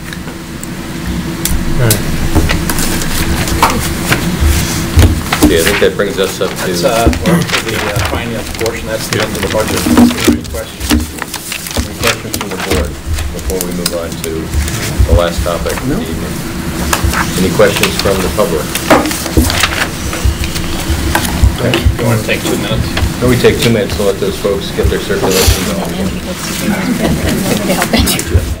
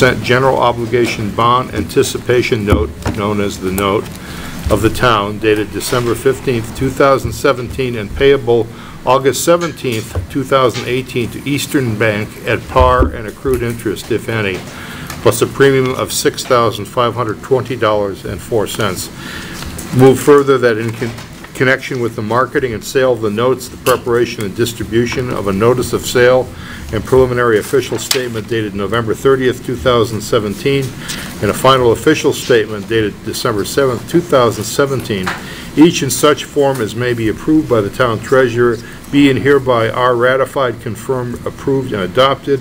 Move further that the town treasurer and the board of selectmen be and hereby are authorized to execute and deliver a significant events disclosure undertaking in compliance with SEC Rule 15C2-12 in such form as may be approved by bond counsel of the town, which undertaking shall be incorporated by reference in the notes for the benefit of the holders of the notes from time to time. Move further that we authorize and direct the treasurer to establish post-issuance federal tax compliance procedures in such form as the treasurer and bond bond counsel deem sufficient, or if such procedures are currently in place, to review and update. Mr. Chairman. Mr. Chairman. moves to I move dispense with the reading. suspended. She said I had to read it all. No, you don't have. You don't have to, Okay. apparently, Bob. Just did that for entertainment Bob knows purposes best. only. Doing a good As long as you guys. Oh, I was almost done. Okay. All right. Don't have any Um, That's why we waited. Do you guys have any questions? No, we've done this before. Uh, You need tons of signatures. Yeah, we need, we need a blue pen. We need it, but now You we you need need a black pen or a blue We need a, one? s- we need a move on this. Yeah, uh, that's the motion, and That's a motion, it's seconded. Chair, I I have a black one. I have Mine's one. black. You need a call for a vote. Okay, um, Yeah. is this a roll call vote? No. Okay. No. Uh, Mr. Did Mr. did you get a second? I did not I- get a second. Yes, second. John seconds. Any further discussion on the motion? Yeah. All those in favor? Five zero. Okay. Thank you. And the only other topic Everybody, tonight everybody. um, is the minutes. I have a couple of questions. The minutes from uh, November 14th, which are in your packet tonight. Yes. Uh, Move to approve those minutes as amended. Just Didn't get sign any- your name, yeah. Okay, okay. They- they don't go every- I go in here. Are we- What was the amendment? I'm sorry. Okay, uh, there's a mo- motion to approve the minutes. Do I have a second? 14. Second. Okay, Dan- John seconds. Any further discussion or amendments to the motion, to the uh, minutes? There were amendments or no? Yeah, there are. They're in the packet from That's in Thursday. case there are any. The minutes from uh, November 14th. All right. Okay, hearing none, all those in favor of the minutes as drafted? Barry, you in? Five zero. Okay. Okay. Uh, Before we close, Bob, there's a number of question, number of emails, including some tonight on my phone, about the um, second parking sticker. You know, the one in our packet tonight from December 6th, uh, I'm writing to... Another one came today. Right. Are we responding to each of those? Or I should say, are you responding to each of those, or do do we need to do something? It it could be as I simple as I acknowledge I got it, and here's the facts. Um, I'll have to go back case by case. Yes, we are acknowledging them and responding. I can't say that's true in the last four days necessarily. Yeah, because one came last week. today. I, and I I don't even see Yeah, that. you- I'm sure And you just- didn't get a just so chance to even look folks at it. know, if, if you get them individually, obviously, I don't see them. If they go to the This was an all points. Okay, if this goes, if it goes to the selectmen, I'll see it. No, it was an all If it goes to you points. individually, I may not have more see it. We can start. We're doing with black? black. Oh, we're doing black? Yeah. Um, John, also on that point, um, just to say it publicly, there were some questions about residents that live in certain areas and- Yes. and what their rights and and restrictions might be. Yes. And the answer is, we're doing the same as the past practice has Yeah, always been, can win for on better these. or worse. Um, So that if someone received a free uh, sticker to park in front of their house and they live near the depot, they will continue to get a free sticker to park in front of their house and live, you know. There was a by the from depot. Wenda Street that. Yeah, that Now, makes sense. That to her on that? Yes, we did. Um, The chief's con, but what the chief will tell you at some future date is, um, we've done some recent research into how this was all in the past, and let's just say it needs a little bit more structure. Um, And, you know, the board will have a call on what to make in the future, anything from you should buy a $25 sticker in order to park in front of your house to a $150 sticker so you can continue to have one for free. But I will tell you that it's, um, it's a fair amount of people that are impacted by this.